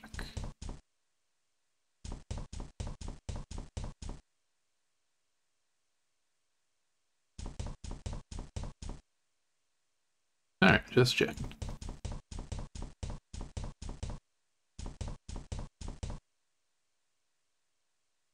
Ah, my old pal the professor. Also, Siobhan is kind of missing now, which is not great. Also, Trilby is not... Yeah. I need you to understand. You and I and Siobhan are in critical danger. There's something evil in this hotel, and it's closing in fast. Mr. Trilby, I have been over this hotel several times. Apart from us, there's absolutely nothing here. Please keep your fairy stories in the playroom where they belong.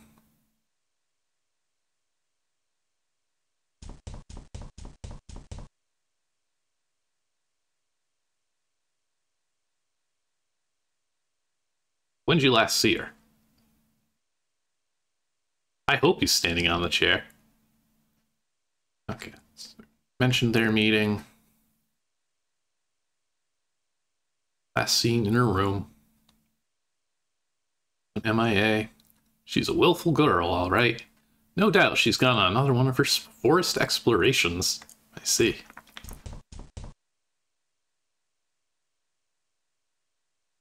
Alright, there's our unicorn down there. Well, it's on the floor, so, like, I want to look at it. This is fun.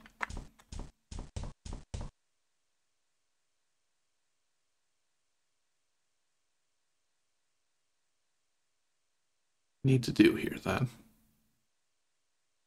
Oh, okay.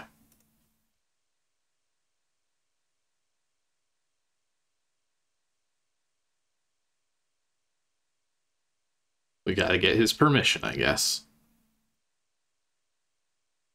Oh, my cool shingle.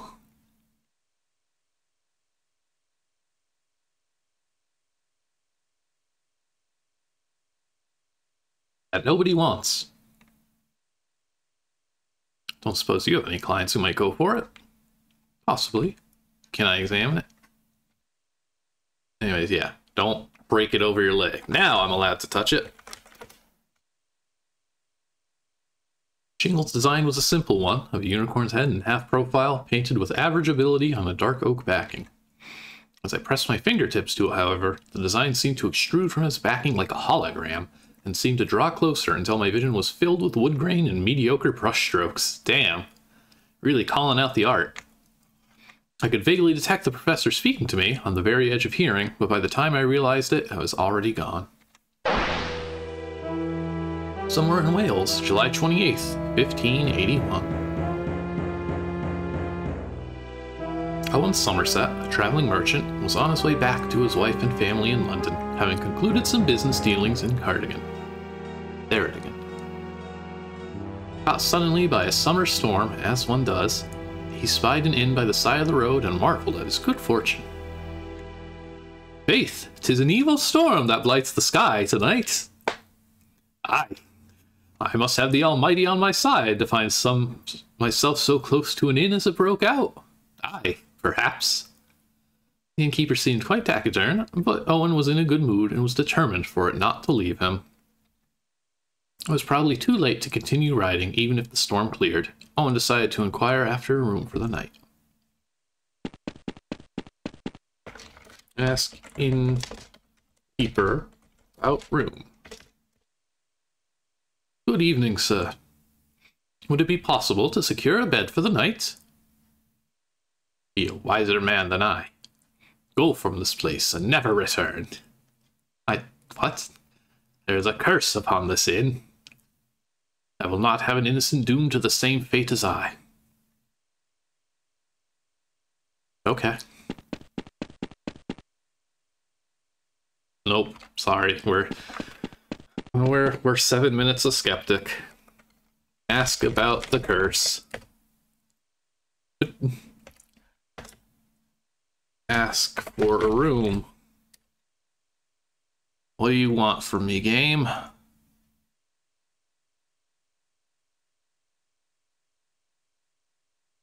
I really, there's only one dude here. I really don't feel like I should have to address them. Plenty of gold? The devil cannot be bought off, my friend. What devil? What is the nature of this curse? This inn was built by my father twenty years ago. From the wood of a fallen oak, he stumbled upon an island north of here. He noticed human bones scattered around, but did not heed them. This inn has been a curse on our bloodline ever since. Madness and death claim those who stay here. This time last year, it claimed my father. Soon, I am certain, it shall claim me. That's cool. I want a room. So why do you remain? I do not believe in fleeing from the mistakes of the past. The Almighty wills that my family must pay for our errors. Then this I accept. But I would not see another suffer for our sins. Leave now, before the shadows take you. No, it's cool. Sir, I have little patience for fables, and even less for riding after sundown in the middle of a downpour. Lend me a room and I shall take the responsibility for my own well-being. You will insist? Not only will I insist, but I will pay whatever price you ask. Go then, take the upstairs room. And if you remain by the morn, you shall pay nothing at all. Nice, free in room.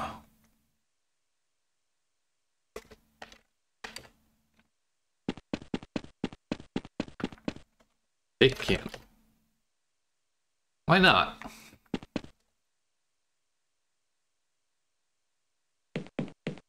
Seems simple enough. Sleep. Owen lay himself down, intending only to test the bed's softness, but in his exhaustion, he quickly succumbed to sleep.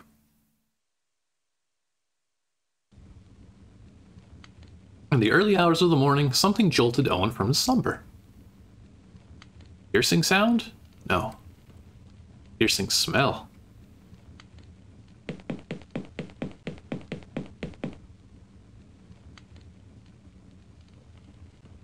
Alright, well, some smoke down there.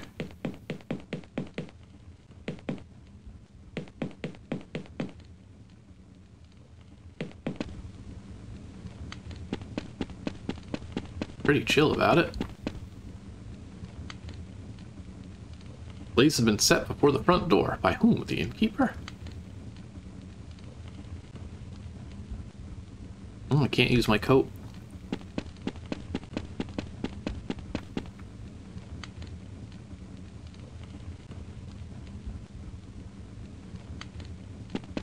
Sorry, am I supposed to have water or something?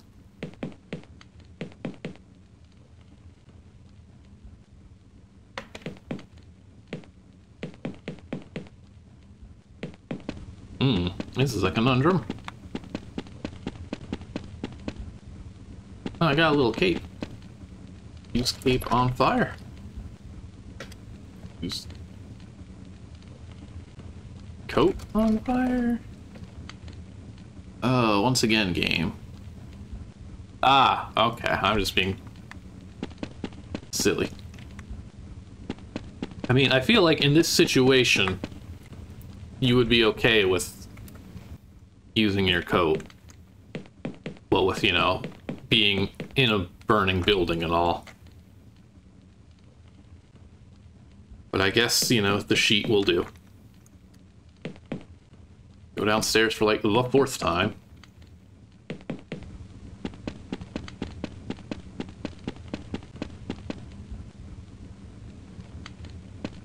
There we go. What in God's name? Oh God. It's him, the innkeeper. Kind of. Who could have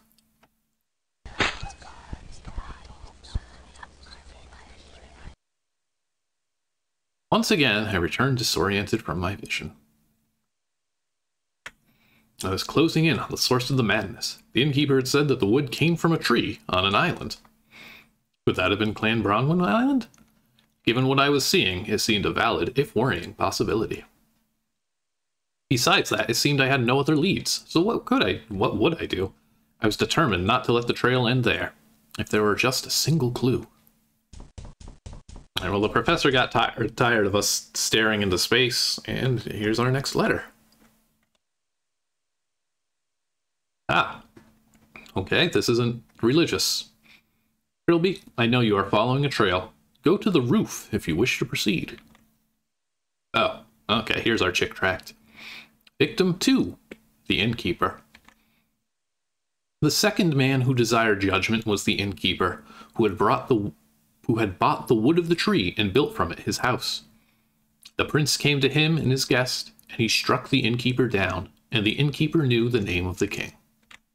And the prince turned to the innkeeper's guest, and he said, You I shall not let live, for once before have I made this warning, and still my soul aches with what is done to the wood that is my soul, and I will spare no man who injures me in this way. And the innkeeper's guest knew the name of the king.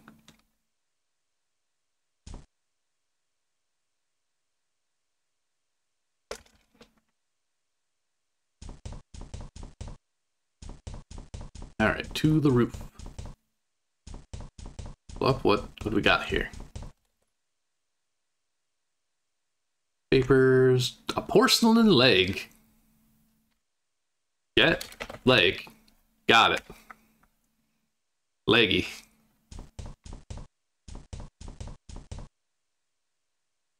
So before I climb like 10 trillion stairs,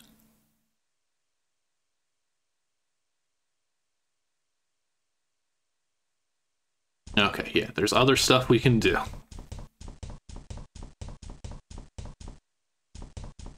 This the bar? I think this one's the bar. Yeah, there we go. Wait, what's the cursor? Okay, there is no cursor. Okay, about... On. Yeah, okay, she's still MIA. I don't care about her anymore. She can make her own choices. She wants to run away with any old smooth talker in a cheap suit. That's up to her. This man is making a horrible mistake thinking that women are attracted to Trilby. This head will be my new assistant. It will be a much better one. Sorry, what?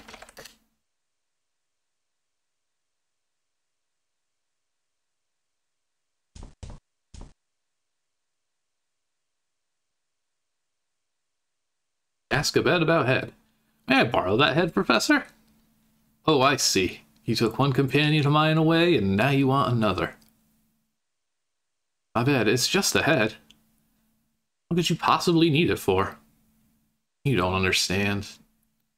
No one understands me. Go get me a drink, then we'll talk. Okay, fine.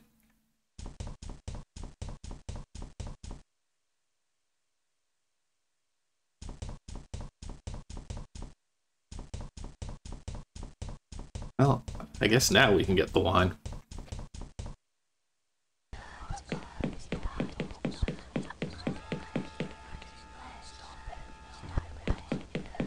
The take pill ruins my nice little open door shortcut.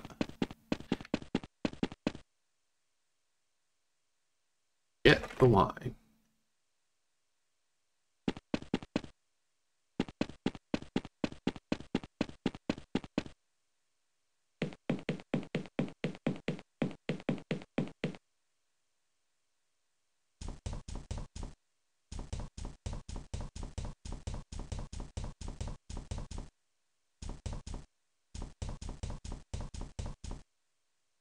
Hurts.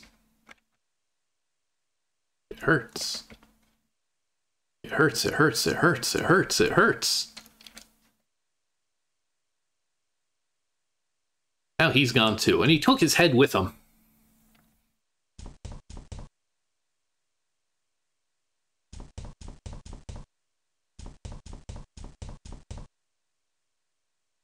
Do we need to go to the dark world?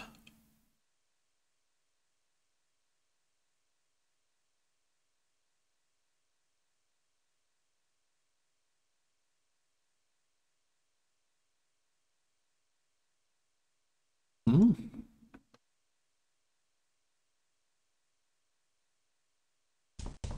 The bar. Why is it saying drink cola? Can you drink the cola? Oh, right. The soda is the opposite of water. So it will take you to the dark world if you want to be in the dark world.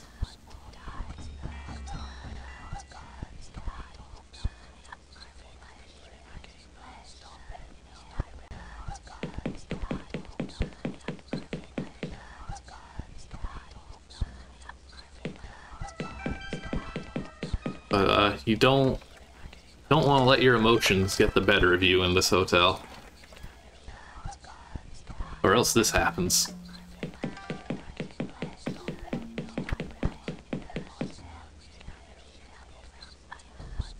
Abed's drunken misery had caused him to shift into the dark hotel. The jolly man of whom I had grown fond lay decapitated on the floor. With Siobhan's disappearance, I was now truly alone. The professor had known nothing of the horror. He was blameless and ignorant of any manner involving Defoe Manor or a cursed idol. Surely it's not the idol. It's it's not that it's an idol at this point. You should have put that much together. You've been putting this together. But it seemed my dark captor cared little for these facts. Why haven't you killed me too, you skinny bastard? If you can do it so easily, so quickly, why won't you face me? In display of a warped sense of humor, the porcelain head was sitting where Abed's old one had been.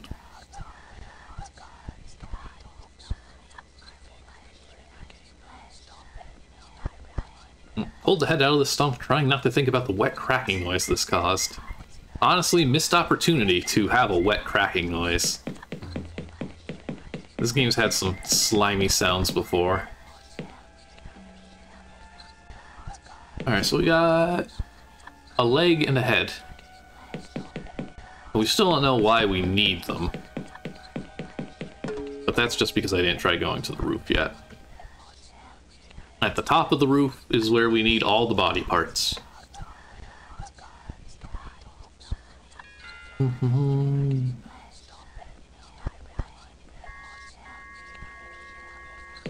Wait, are we able to do this now? I mean, this door has been locked the entire time, but... Ten minutes. You're slipping. Here it is, the, the famous room we have yet to see. The pain room. Safe. It looks like some creature had exploded inside the safe and the blood had shot out through the cracks around the door. Very well, then.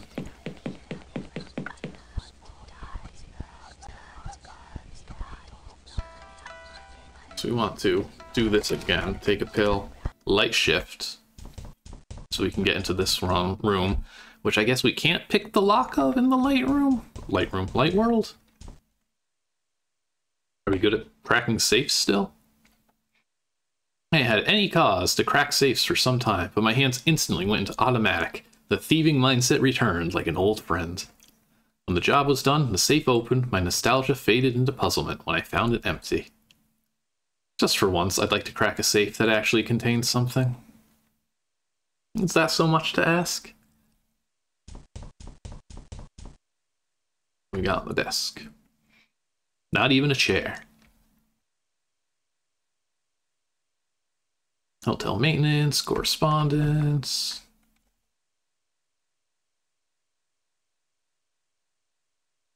Nothing. Do I have to shift into the dark world now? Oh, I'm sorry. We look on the shelf. There's a leg. Okay, so we got two legs, two legs, and a head. We're getting there.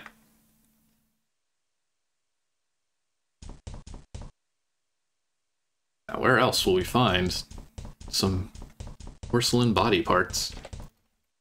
How About... Ah, well.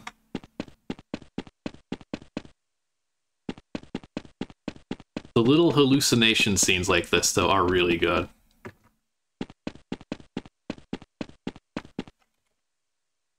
There's one.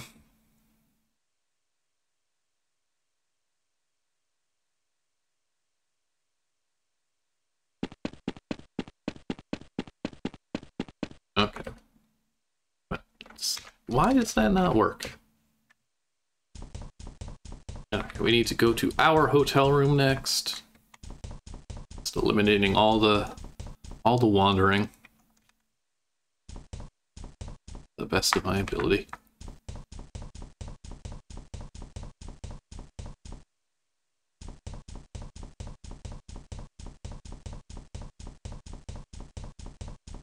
This is why I've never gone up these stairs yet.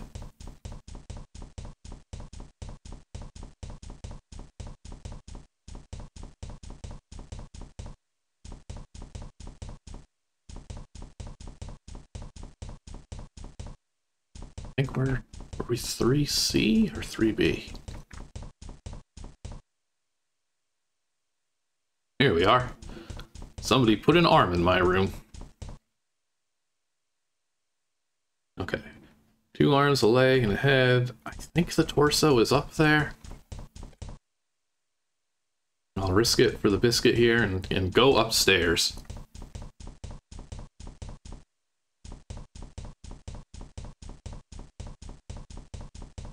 We don't have a ton more to go. I think I am just gonna brute force my way to the end of this. Yeah, well, okay. Great. Now I have to go down these stairs again, because I need to be in Hell World. I had thought that I never showed the outside of not Hell World, and that's because the door is locked in not Hell World. I guess we drink soda. This happens every time I have caffeine, honestly.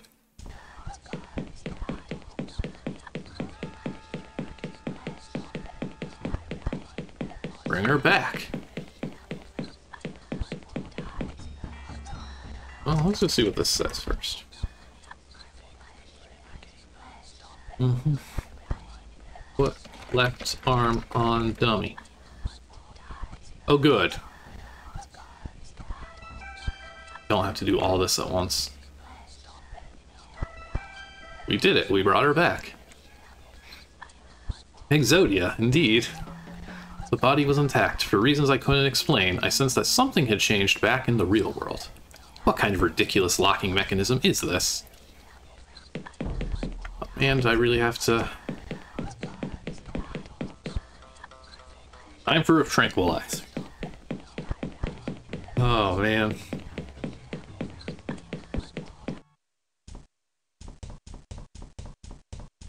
This guy's gonna have hallucinations when he's not in a haunted hotel. So now can I go outside? Yes. That looks nice, I guess.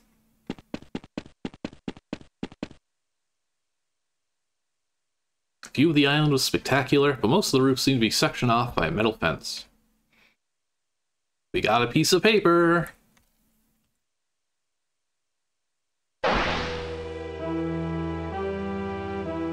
Clanbronwyn Island, July 28th, AD, 1501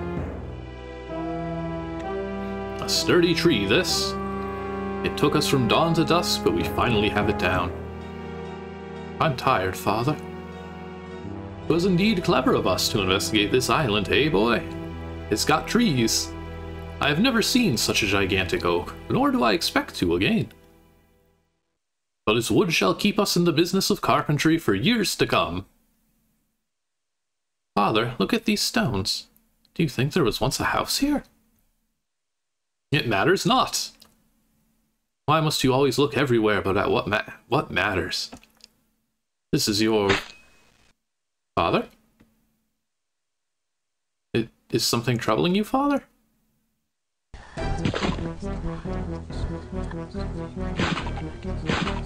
Uh-oh.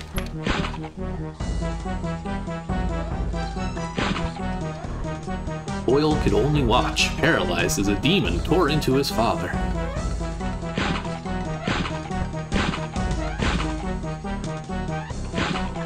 Bro. Let's chuck a rock at the tall man.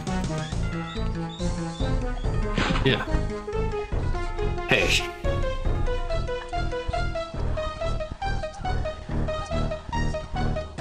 What? Where am I? I must have shifted into the dark world during this vision. Yeah, it's very much the same Defoe dynamic. Oh, thank God. I thought I was all alone. What happened to you? I don't know. After you knocked me out of my room, I woke up and everything was like this. The hotel's ruined, there's blood everywhere. I saw this horrible man. Tall, thin, long black coat. You know him? Enough to know you're lucky to be alive. He didn't notice me, so I ran up here to hide. How'd you get past the doll? What doll? Trilby, what the hell is going on? I told you what would happen if you followed me into the shadows. This isn't your problem. Take these. What are these? Tranquilizer pills. Soaked in hand water. Take one. When you calm down, the hotel will go back to normal. Don't you need them? I don't need to run away anymore. Trilby, wait. Where are you going? I know enough now. I know where the wood came from. Perhaps I can find a way to end this. So I was right.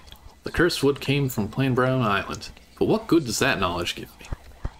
Wait a second, I never got around to reading that letter I took from under the rock. Trilby, I am very close to ending this. Meet me in the hotel basement. I must show you my discovery. The other page was another one of those religious papers. The Book of Victims. Victim 1, the Woodcutter. The first of those against whom the prince sought vengeance was the woodcutter. He who had held the axe that first felled the tree. The prince came to him and his son, and he struck the woodcutter down, and the woodcutter knew the name of the king. And the prince turned to the woodcutter's son, and he said, Please don't throw rocks at me. You I shall let live, for you are young, and are of the innocent, and that you may go among your people and tell them of what I will wrought. And the woodcutter's son fled, and told all of what he had seen, but the men of technology are arrogant, and his words were unheeded.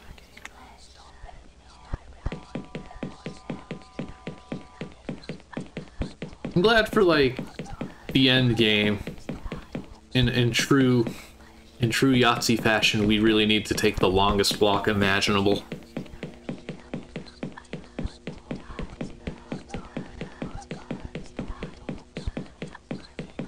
Man. Now I'm wishing my Oktoberfest game for ZZT was, like, in town mashed up with this sort of thing.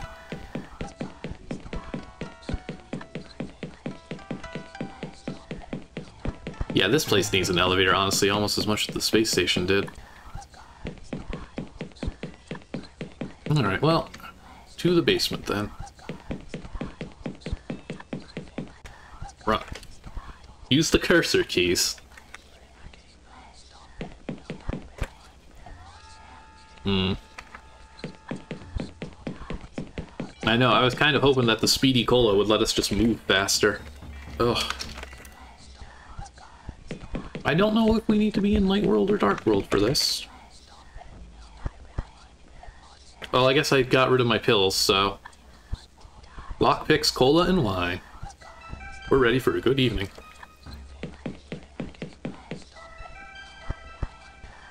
Mm.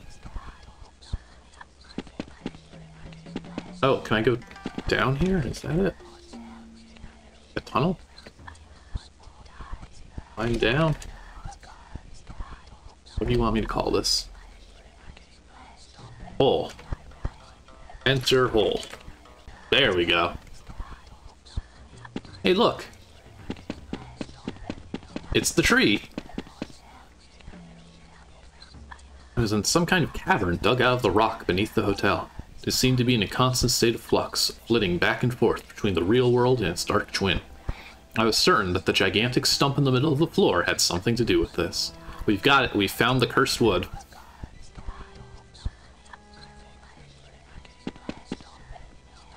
Okay, what do I do? Where's Lankman? Oh, right, of course. Same thing we've done this entire game. Touch that wood. Clanbronwyn Peninsula, July 28th, 55 BC. Cabadath, a Celtic druid, awaits the return of his friend and colleague Alden, who brings news of the invasion of Anglesey by the Roman guy. Having fallen out of favor with his fellows for certain radical beliefs and activities, Cabadath lives in solitude in this remote forest clearing and prefers not to travel himself. Cabadath? Alden, you bring news? The foreigners have landed.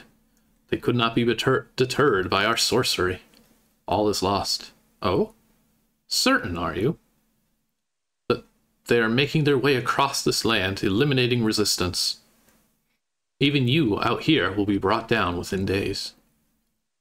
I'm sorry, Cabadath. And the great druids of Anglesey bow so easily to this brash foreign power? Do not hang your head yet, my friend.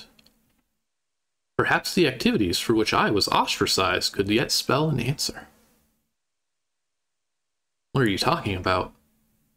You know of my dealings with the ethereal realm. I know what you claim. That there exists some otherworldly territory populated by demons and creatures of magic, with a K. That's how you know it's the good stuff. And that you, Cabadath, can somehow commune with these creatures. Come inside and I shall explain.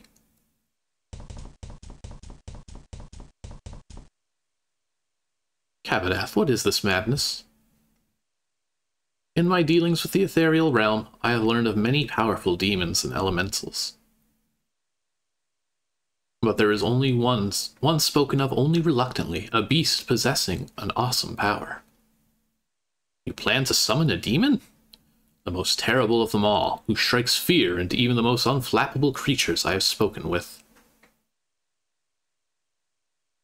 A pain elemental, indeed the only pain elemental, ruler of a desolate wasteland where none venture. An invulnerable, hugely potent beast that feeds on the agony of others. And today is his day. The day when the boundaries between the realms weaken and he glimpses our world. To bring him through at that point should be simple. Even if you could conjure such a thing, how would you have it defend our land? I have much knowledge in the ways of magic. With the correct bindings, any demon can be forced to my will. I completed the preparations while I waited for your return. All that remains is the summoning. Cabadath, it pains me to see you build your hopes on such nonsense. Be silent and watch. You shall see your nonsense soon enough.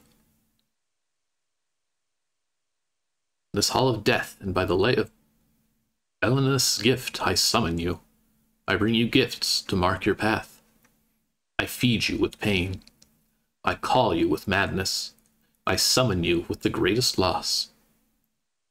And I bind you by your true name, Chzo. The gods. I have reached out to you through the void, Chzo. I command you by your true name. Show yourself. Cabadath, please stop this. Show yourself. By two ladies, it's huge. It it is larger than I anticipated. But Chzo must obey the rules of magic. It is bound. I can command it.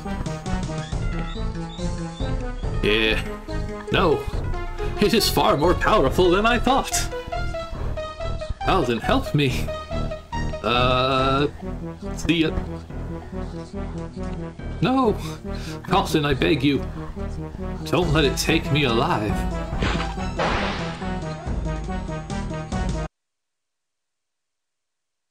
Chzo, of course, has no use for meat. It feeds on pain. It does not kill its prisoners. Cabadath's agony was a particularly rare morsel, and Chzo ensured it would last. His soul was placed inside an oak sapling on the site of his old home to grant his body immortality. For five centuries, as the tree grew, he knew torment beyond even his most depraved imaginings. By then, his body was warped, and his mind long fallen into soulless dementia. He was Chzo's utterly and completely his slave. Trilby. Siobhan, you were supposed to leave. I couldn't, I just... Abed, the professor, he's dead. I know. I probably should have told you this. Anyways, they will kill you if you don't get away from here. What is this place? This cave is the center of the reality shift. This stump is what's causing it all. Ow. It is the vessel for the soul of the tall man. The acolyte of Chzo. Lankman, nice to see a friendly face. Amazing, isn't it? Of all the things Sir Roderick could have used to murder his son, he chose that idol. Placing the soul of John Defoe into the wood alongside Kabadath's. Infusing him with Chzo's magic, allowing him to come back more powerful than before. Certainly pretty lucky. Lucky. Chzo had to wait 2,000 years for that opportunity. The opportunity to blend magic and science in a single entity the opportunity to create the bridge. What are you talking about? The bridge between the realms. Lord Wishizo will cross into our universe and purify mankind. Our order has waited 200 years for the prophecy to be fulfilled. You're not with the Ministry of Occultism! Who are you? 200 years ago, the prophet Jack Freehorn founded the Order of Blessed Agonies. Since then, we have grown and watched and waited.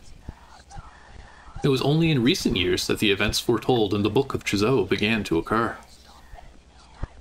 It mentioned John Defoe, and it mentioned you.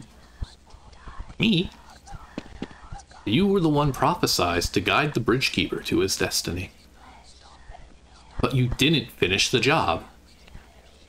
All three aspects of John Defoe had to be destroyed to create the bridge body, mind, and soul. You only destroyed his body. His soul and mind remained. Had I known about this, I wouldn't have even done that. That will truly disappoint my superiors.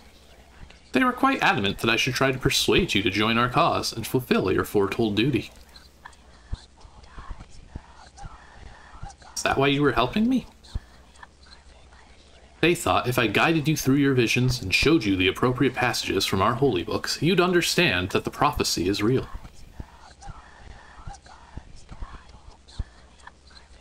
You honestly believed I joined some insane cult just because you handed me some leaflets.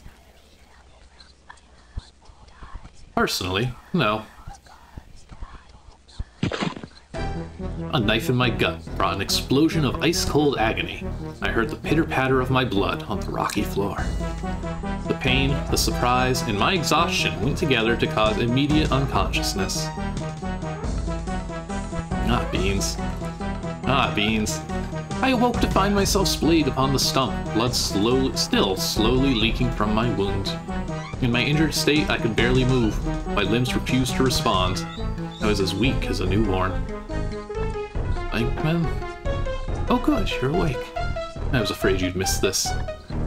What are you doing? After your staggering ineptitude in the Defoe Manor, the Order needed to nudge things along. We need a connection to Joe, Chzo to help administrate his coming. And today might be the only opportunity we have all year to summon the Tall Man. You're going to bring that thing into our world? with a standard ritual of blessed agonies and an offering. After he takes your life, he will be grateful to us. And then he will guide us to our destiny. So why did you stab me? What if I'm already dead by the time he gets here? You won't be. Men like you, Trilby, die on their own terms. If they don't weakly let their life slip away from one measly like knife wound. Hush now. Cabadath is coming.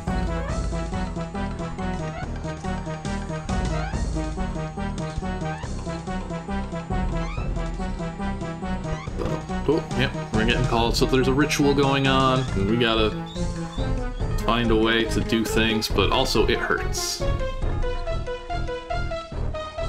My position, I could only see a small portion of the Wavering Cavern. I could see the idol of John Defoe on the stump beside me, and my bloody waistcoat lying discarded in the corner.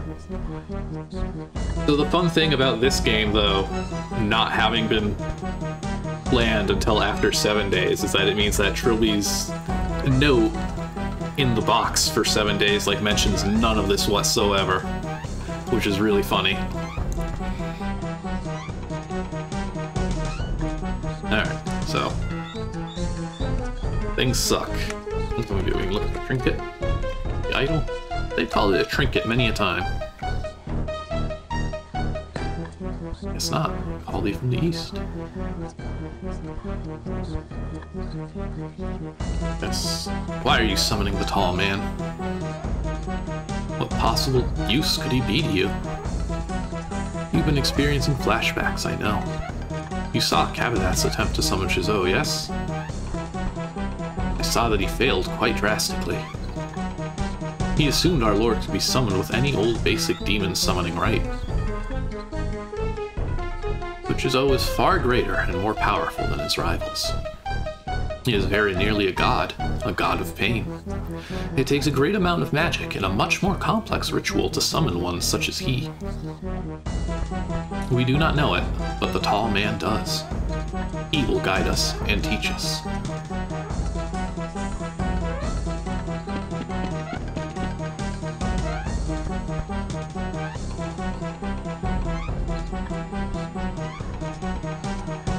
What other talking can we do? We can't really do much more than talk. What happens if I say move?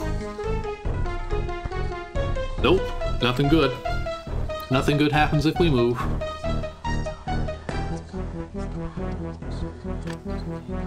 Alright, we can try and talk to Siobhan. She's here, but she can't answer you. She has nothing to do with this Lankman. Let her go.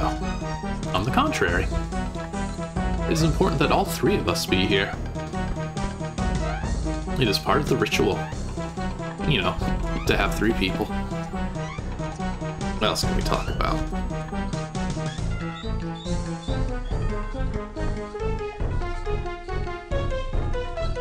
What does the prophecy say about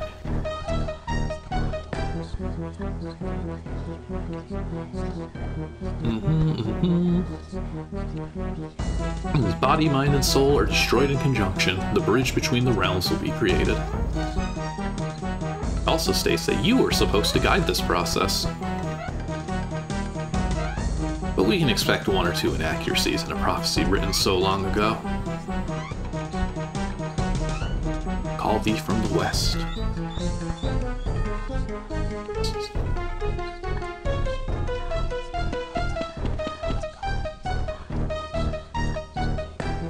Blood steadily. My arms and legs were limp and unresponsive. I couldn't move.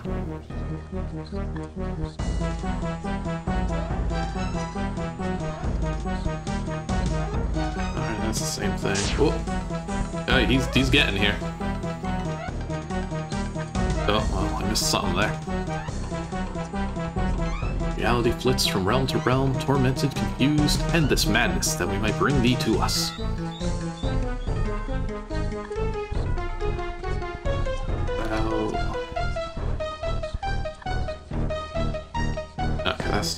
Her.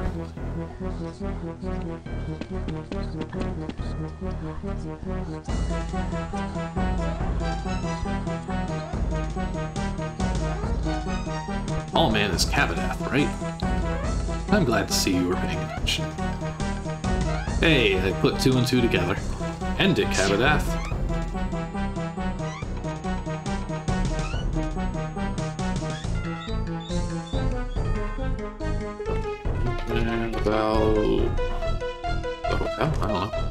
The stump that's causing the reality shift. It's partly that. Partly it's today's date, too. so special about it. July 28th is the day when the border between the ethereal realm and the scientific realm weaken. Is the day when Chzo takes his yearly gaze upon our world. And the day when the tall man is given leave to exact vengeance on those who torment the wood that is his soul. Was becoming harder and harder to breathe. Air rattled in and out of my lungs like a buzz saw. I present thee with blessed agonies, body, mind, and soul.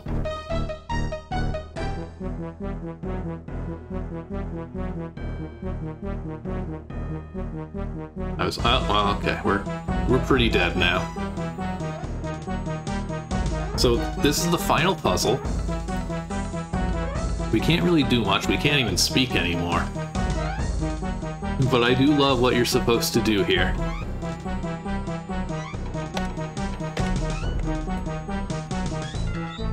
Oh, not yet. That's the that's the problem is you don't know when it lets you do it, and now I just kind of spoiled it. But we do just tell ourselves to die because, as Lankman said, we die on our own terms.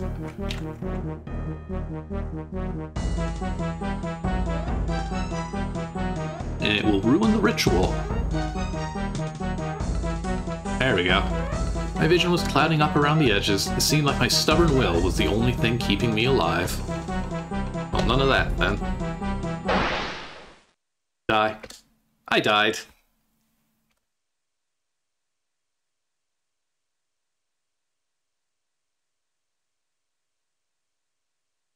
Yeah, the window is kind of narrow, unfortunately. What? He's dead?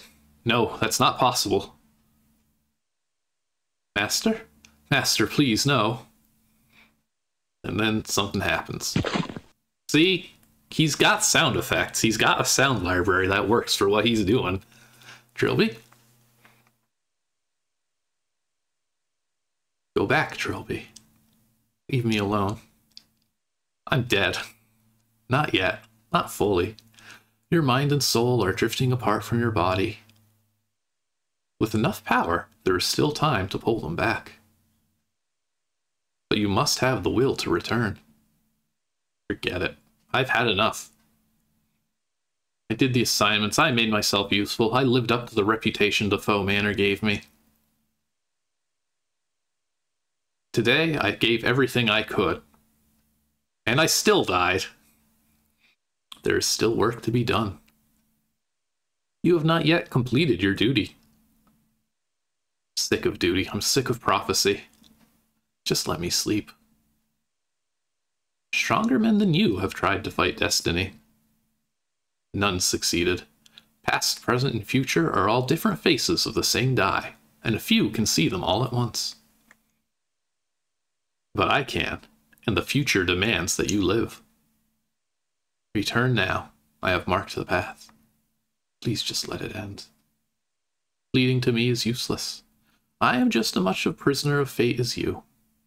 The future your actions are destined to bring about has already taken place. Without your part, I would not be here to restore you to life.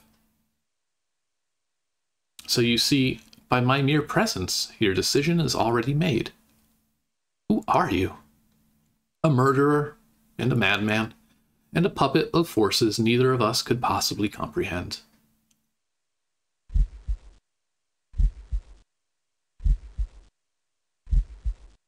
He's okay. What? You're alive? Oh god, I didn't even know if I was doing it properly. But I did it. You're alive. Where's Lankman? That tall man took him. He did something horrible to him. And then he took him away. Where's my waistcoat? Shh, don't talk. I've already called for an ambulance. Let's get you back upstairs. Wait, see that wooden idol? Yes. Bring it with us. Wrap it tightly in clothes and bring it with us. Don't let it touch your bare skin. Oh, okay.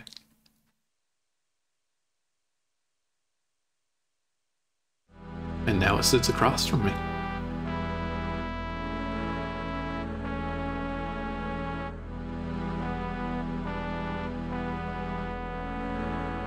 The reality shift had cleared up and we were free to leave.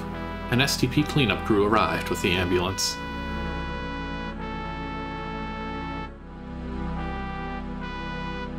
No trace of Abed or the hotel staff was found.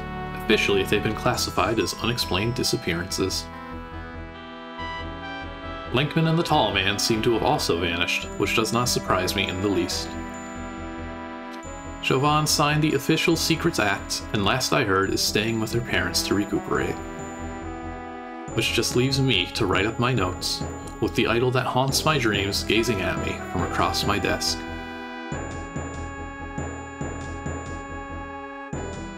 I was dead. I can't pretend I wasn't. No amount of CPR could have brought me back from where I was. So who did? The man in red? Who was he if not an insane hallucination and brain death? Unimportant. I am alive, and that's all that matters. Just that, and the destiny of this wretched statuette that I am apparently fated to carry out.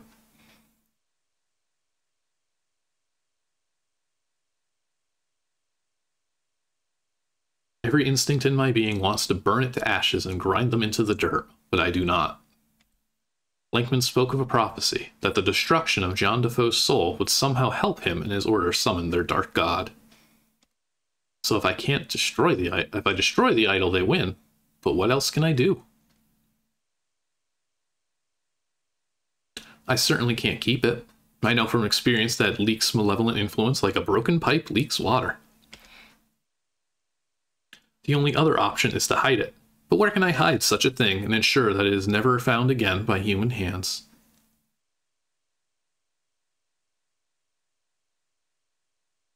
I shall have to think about this.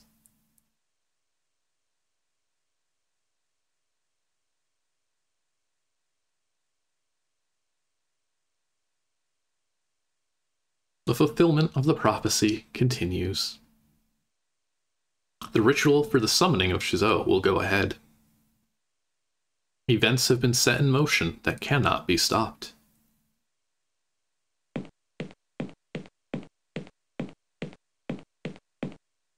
We have the blood of the guide. Now we must wait. Wait and prepare.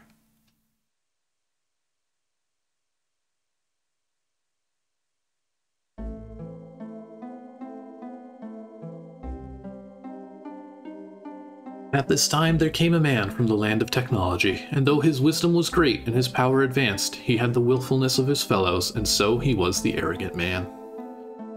And on the eight and twentieth day of the seventh month of the year of the arrogant man, the king gazed upon the land of technology and saw the arrogant man who spake thus O king, I beseech you, for this land has become corrupt without your benevolent hand, and darkness seeks to envelope us all. I demand of you to cross the border between our lands and make things right, for my power is great, and I have it in my power to control one even as great as you. And the king was rightly amused, for while the arrogant man's power was indeed great, the king's power was greater still, and the king said, I will not submit myself, for firstly, my power is greater than yours, and not yours to command. Secondly, while my capabilities are many, it is impossible for me to enter the land of technology, for the border is a dark and treacherous ocean I cannot will away. But I will do this for you, O arrogant man. For all the bigness of your head, you are still small enough to be spared the rigors of the dark ocean. I shall rescue you from the darkness in the land of technology, and you shall live in my household, and here you will learn humility. And as the king said it, so it was so. And the arrogant man crossed the ocean to the house of the king, where he was brought before his majesty, who said, now you must repay me for the slight of your arrogance caused for the slight your arrogance caused me. For despite your insult, I love you as I love every man and beast, and you must learn to take this love into your heart. And the king took the body and mind of the arrogant man and separated them from his soul. And this he placed in a great tree in the land of technology, and with this action he announced, Now you are the tree, and the tree is you, and the wood is your soul, with this gift of separation, your body shall not wither or die throughout your lessons. But should any man interfere with the tree that is your soul on the day that is mine, I shall lend you the power to confront them and strike them down with fitting vengeance. And then he touched the arrogant man and filled his heart with his warming love, and the arrogant man became the prince, and he knew the name of the king. And the prince and the court of the king bowed down and wept and sang with great praise the name of the king, for great and generous was his wisdom. The Books of Chzo, Book of the Prince, Chapter 2. Yeah, there's a there's a lot of fan art there's a lot of people who are who who are in very much into Cabadath, the Tall Man, and and Trilby to varying degrees.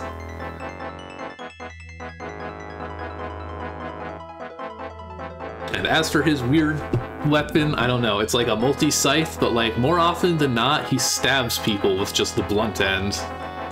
It's very silly.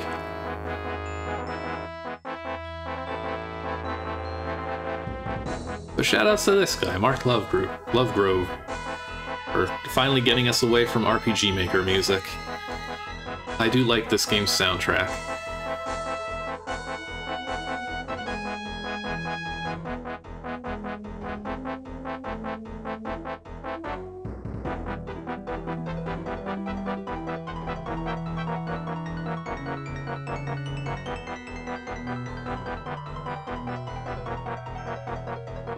Web hosting.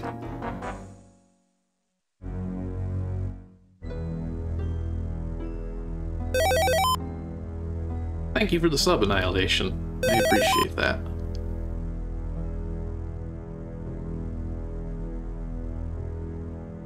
Thanks to everyone who demanded another Trilby game. Oh man, my, my voice is shot. I read too much. Fully Ramblomatic production. Website's still up. A lot of the download links seem to be broken though. Like, I actually got these copies from an old, like I had to get these off an old computer that I still had them on, thankfully. I think one of them worked. I think like the full collection link worked, but all the individual ones, I don't actually know if people can play the non-special editions these days, which aren't super different, but like should still be around somewhere, I hope. They're probably on archive.org. I didn't actually look because I have this. But that's Trilby's notes, and it's the, it's the best one, like straight up. He said that he wanted to release a game that people would still be able to discuss afterwards, and he did. It got people like super invested, and I know when I played this one, I also like could not wait to figure out how this was going to wrap up. And that's pretty much what the fourth game does. It manages to tie every one of these together, and it still does a pretty solid job. It's just uh, not as good. Like I don't think it's it's not as creepy. It's its ending is great. I do like the ending. I do like some of the stuff towards the end of it, but this one is definitely the high note for the series, aside from, you know, a few parser issues here and there. But as far as retconning goes, this, this man is going to make seven days and five days properly connect. All will be explained next week at noon Pacific. I'll play the final game in the series, Six Days of Sacrifice which also has an absolutely buck wild scene that I don't even know how I'm going to present, but but thank you all for watching. I hope you all enjoyed yourselves. Uh, if you enjoyed the stream, I do ZZT streaming is what I'm normally doing here. I think I got my first subscriber or somebody's gonna be like, oh boy, classic adventure games. Well, tough luck. Two, well, okay, Marvel's Lost, you you count on the ZZT side. But thank you for that. I will be streaming again Friday. No, actually, I'm not streaming this Friday. I'm actually taking that night off because I've got things to do. Uh, it sure does. My next stream is going to be Sunday, but that's going to be me being a guest on a different channel. Yeah, Still, still started typing Worlds of ZZT when I started typing the channel name. We're going to be on myself, Zinfandel, and Cyborg Girl here are going to be on Zinfandel ZT's channel playing some shareware off the Game Empire shareware CD. And then next Wednesday at noon, I'm going to be wrapping this series up, I hope. But thank you all for watching. Thank you for the support, and hope you see you next time. Later.